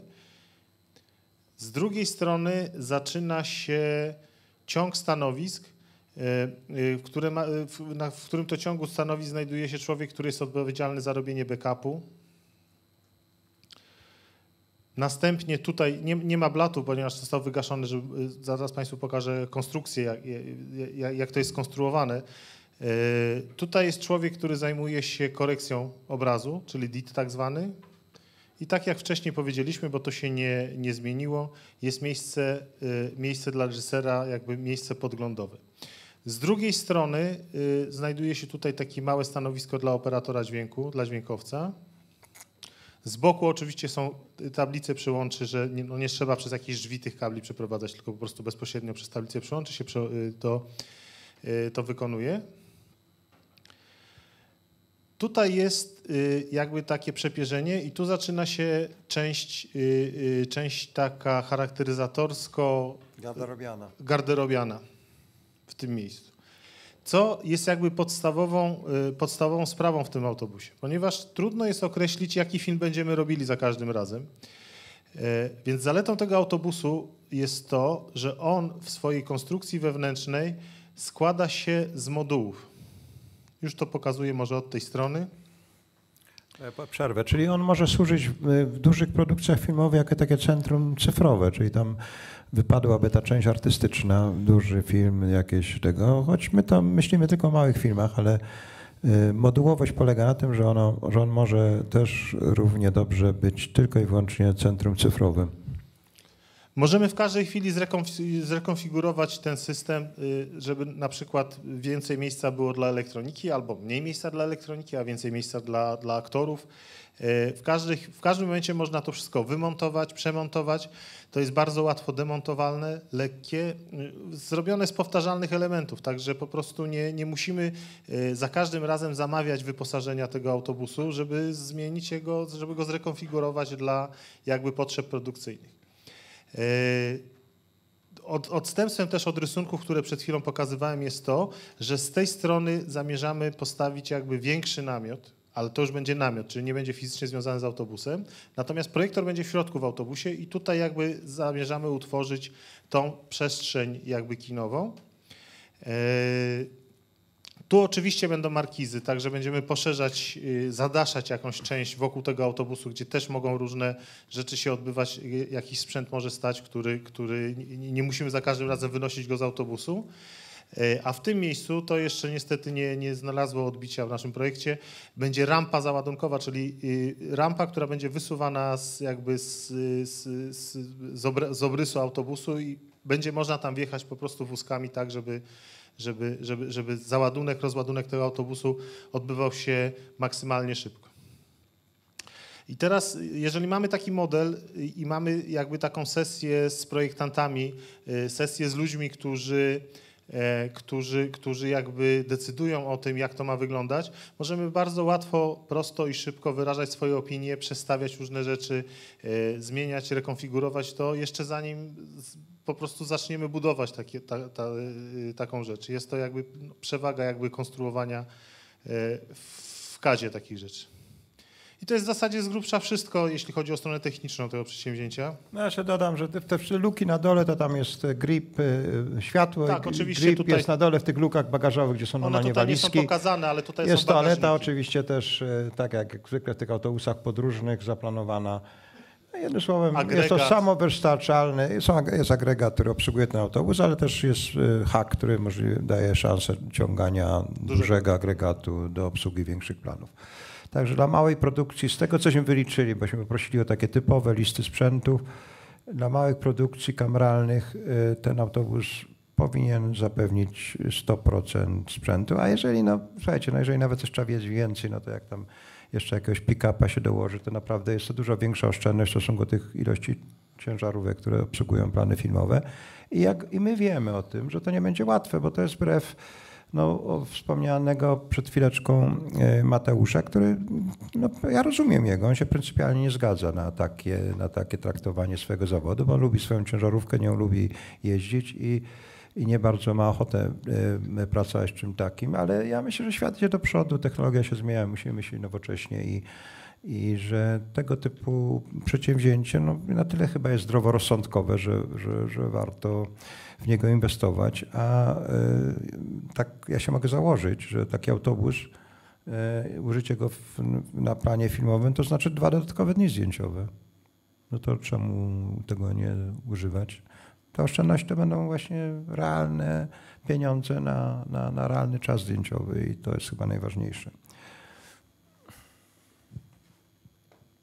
Y, no. Całkowicie teraz spadła mi do głowy taka myśl, że może ktoś z uczestników ma jakieś sugestie, co jeszcze... No nie, tak, tak, tak, ja właśnie... No to, w, ta, w, ta, w tak. takim pojeździe powinno się znaleźć, no, nikt nie wie wszystkiego, a korzystając z tego, że... Robert, ja przecież właśnie zaczynam Państwa prosić o pytania. Rozumiem, dobrze, dziękuję.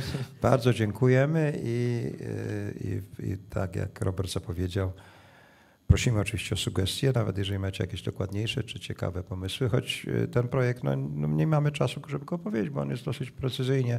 Znaczy mieliśmy dostać dzisiaj precyzyjny e, projekt z e, fabryki Autosan, ale tam jakaś jest gramatyczna zmiana zarządu. Projekt oni twierdzą, że dalej jest aktualny, ale no nie, nie dosłali go nam tak, jak obiecali, więc myśleliśmy, że pokażemy go już tak opisany do, prezentacyjnie. No, to jest niestety na razie taka robocza, model roboczy 3D, no, który jest może ważny dla zainteresowanych, ale, ale, ale prezentacyjnie specjalnie się dobrze nie, nie demonstruje go w sensie praktyczności użycia.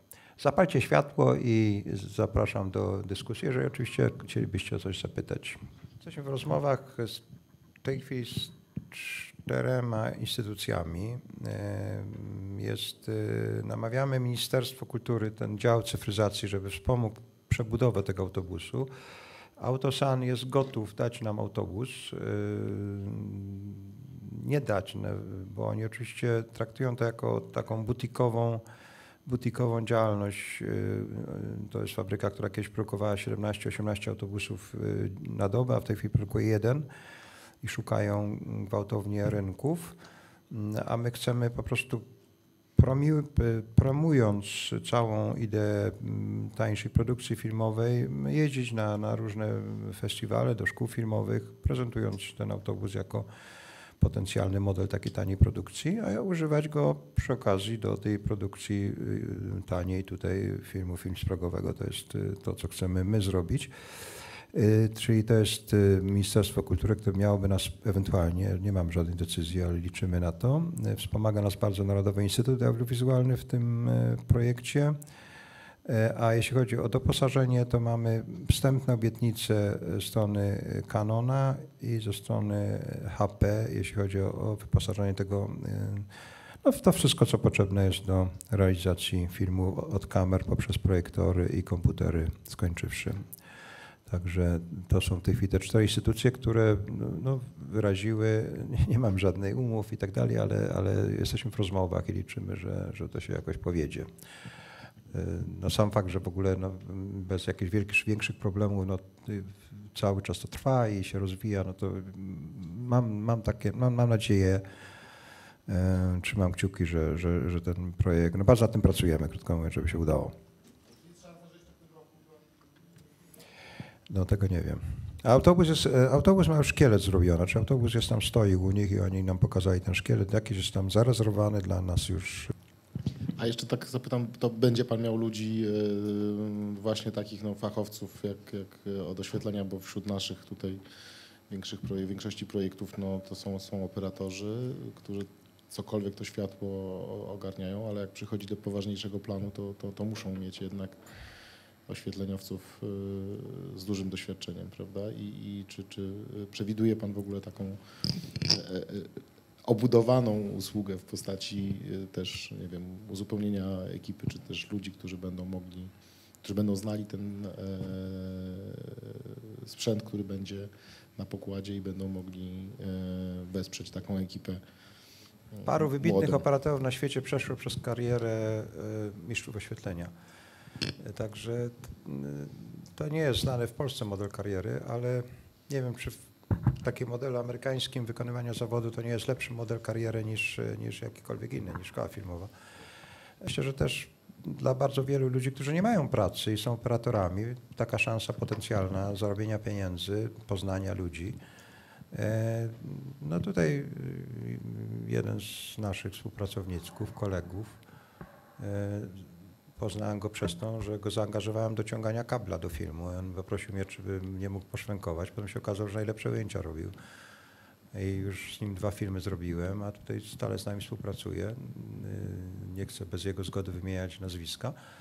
No ale no, tak na tym to polega. No, y, Film Spring jest takim miejscem, gdzie poznaje ludzi i myślę, że bardzo wiele osób docenia to, że są razem i że się angażują w te projekty.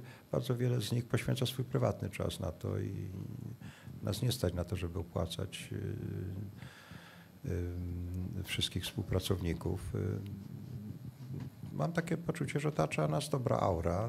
Nikt nas nie podejrzewa, że my coś kombinujemy na boku, bo nie kombinujemy chcemy uczciwie zrobić coś przyzwoitego i, i, i przyzwoitość jest naszą zasadą i, i, myślimy o tym, żeby naprawdę pewne rzeczy ułatwić. No, taką rzecz, którą tam wymyślałem, ja nie jestem producentem filmowym, wymyślając jakieś e, sprawy produkcyjne, no, wykorzystuję pewne swój, swoje doświadczenie, które mam, ilość filmów, które zrobiłem, żeby je przelać jakoś tam na papier. Jest, jest, słuchajcie, nie, y, żeby być też niegołosłownym, y, na naszych stronach, w tej części konkursowej prewizu, jak dojdziecie, w polskiej części, bo niestety nie jest to przetłumaczone, jest dokładny opis o tym, czym mówiłem. Są dwa eseje. Jest jeden esej mówi generalnie o zmianach y, produkcyjnych, a, a drugi esej bardziej precyzyjny niż to, co mówiłem, no bo to jest dużo większy dokument, znaczy dużo, no większy dokument niż to wszystko, co tutaj opowiadałem. Jest też opisane, czy to jest wszystko zapisane bardzo dokładnie, czy można to, czy to nie są tylko gołe słowa, więc oprócz tej prezentacji jest, jest to, jeżeli kogoś interesuje jakoś szczegółowo opis tego w punktach, bo na pewno pewne rzeczy ominąłem, bo to tak zawsze jest, to, to, to, to na stronie Filmspring Open znajdziecie. Zresztą a propos na Filmspring Open pojawiła się taka nowa, taki nowy serwis zrobiony przez naszego kolegę Talarka. To się nazywa w, tej części e, nowa, nowa zakładka filmowy serwis. Czekaj, jak to FSO filmowy? No nie pamiętam. Ale jest taka zakładka nowa i to jest bardzo ciekawe, bo on się specjalizuje w tym, że poszukuje po świecie różnych tutoriali dla filmów, różnych rozmów z reżyserami, jak zrobili filmy. E, Strasznie ciekawe, jak, jak taki, taki fajny podręcznik, kompendium różnych spraw, spraw związanych z robieniem filmów. Także polecam to. To jest e, Michał Talarek robi to. Mm, To jest jego, jego, jego serwis i, i się z nami linkuje.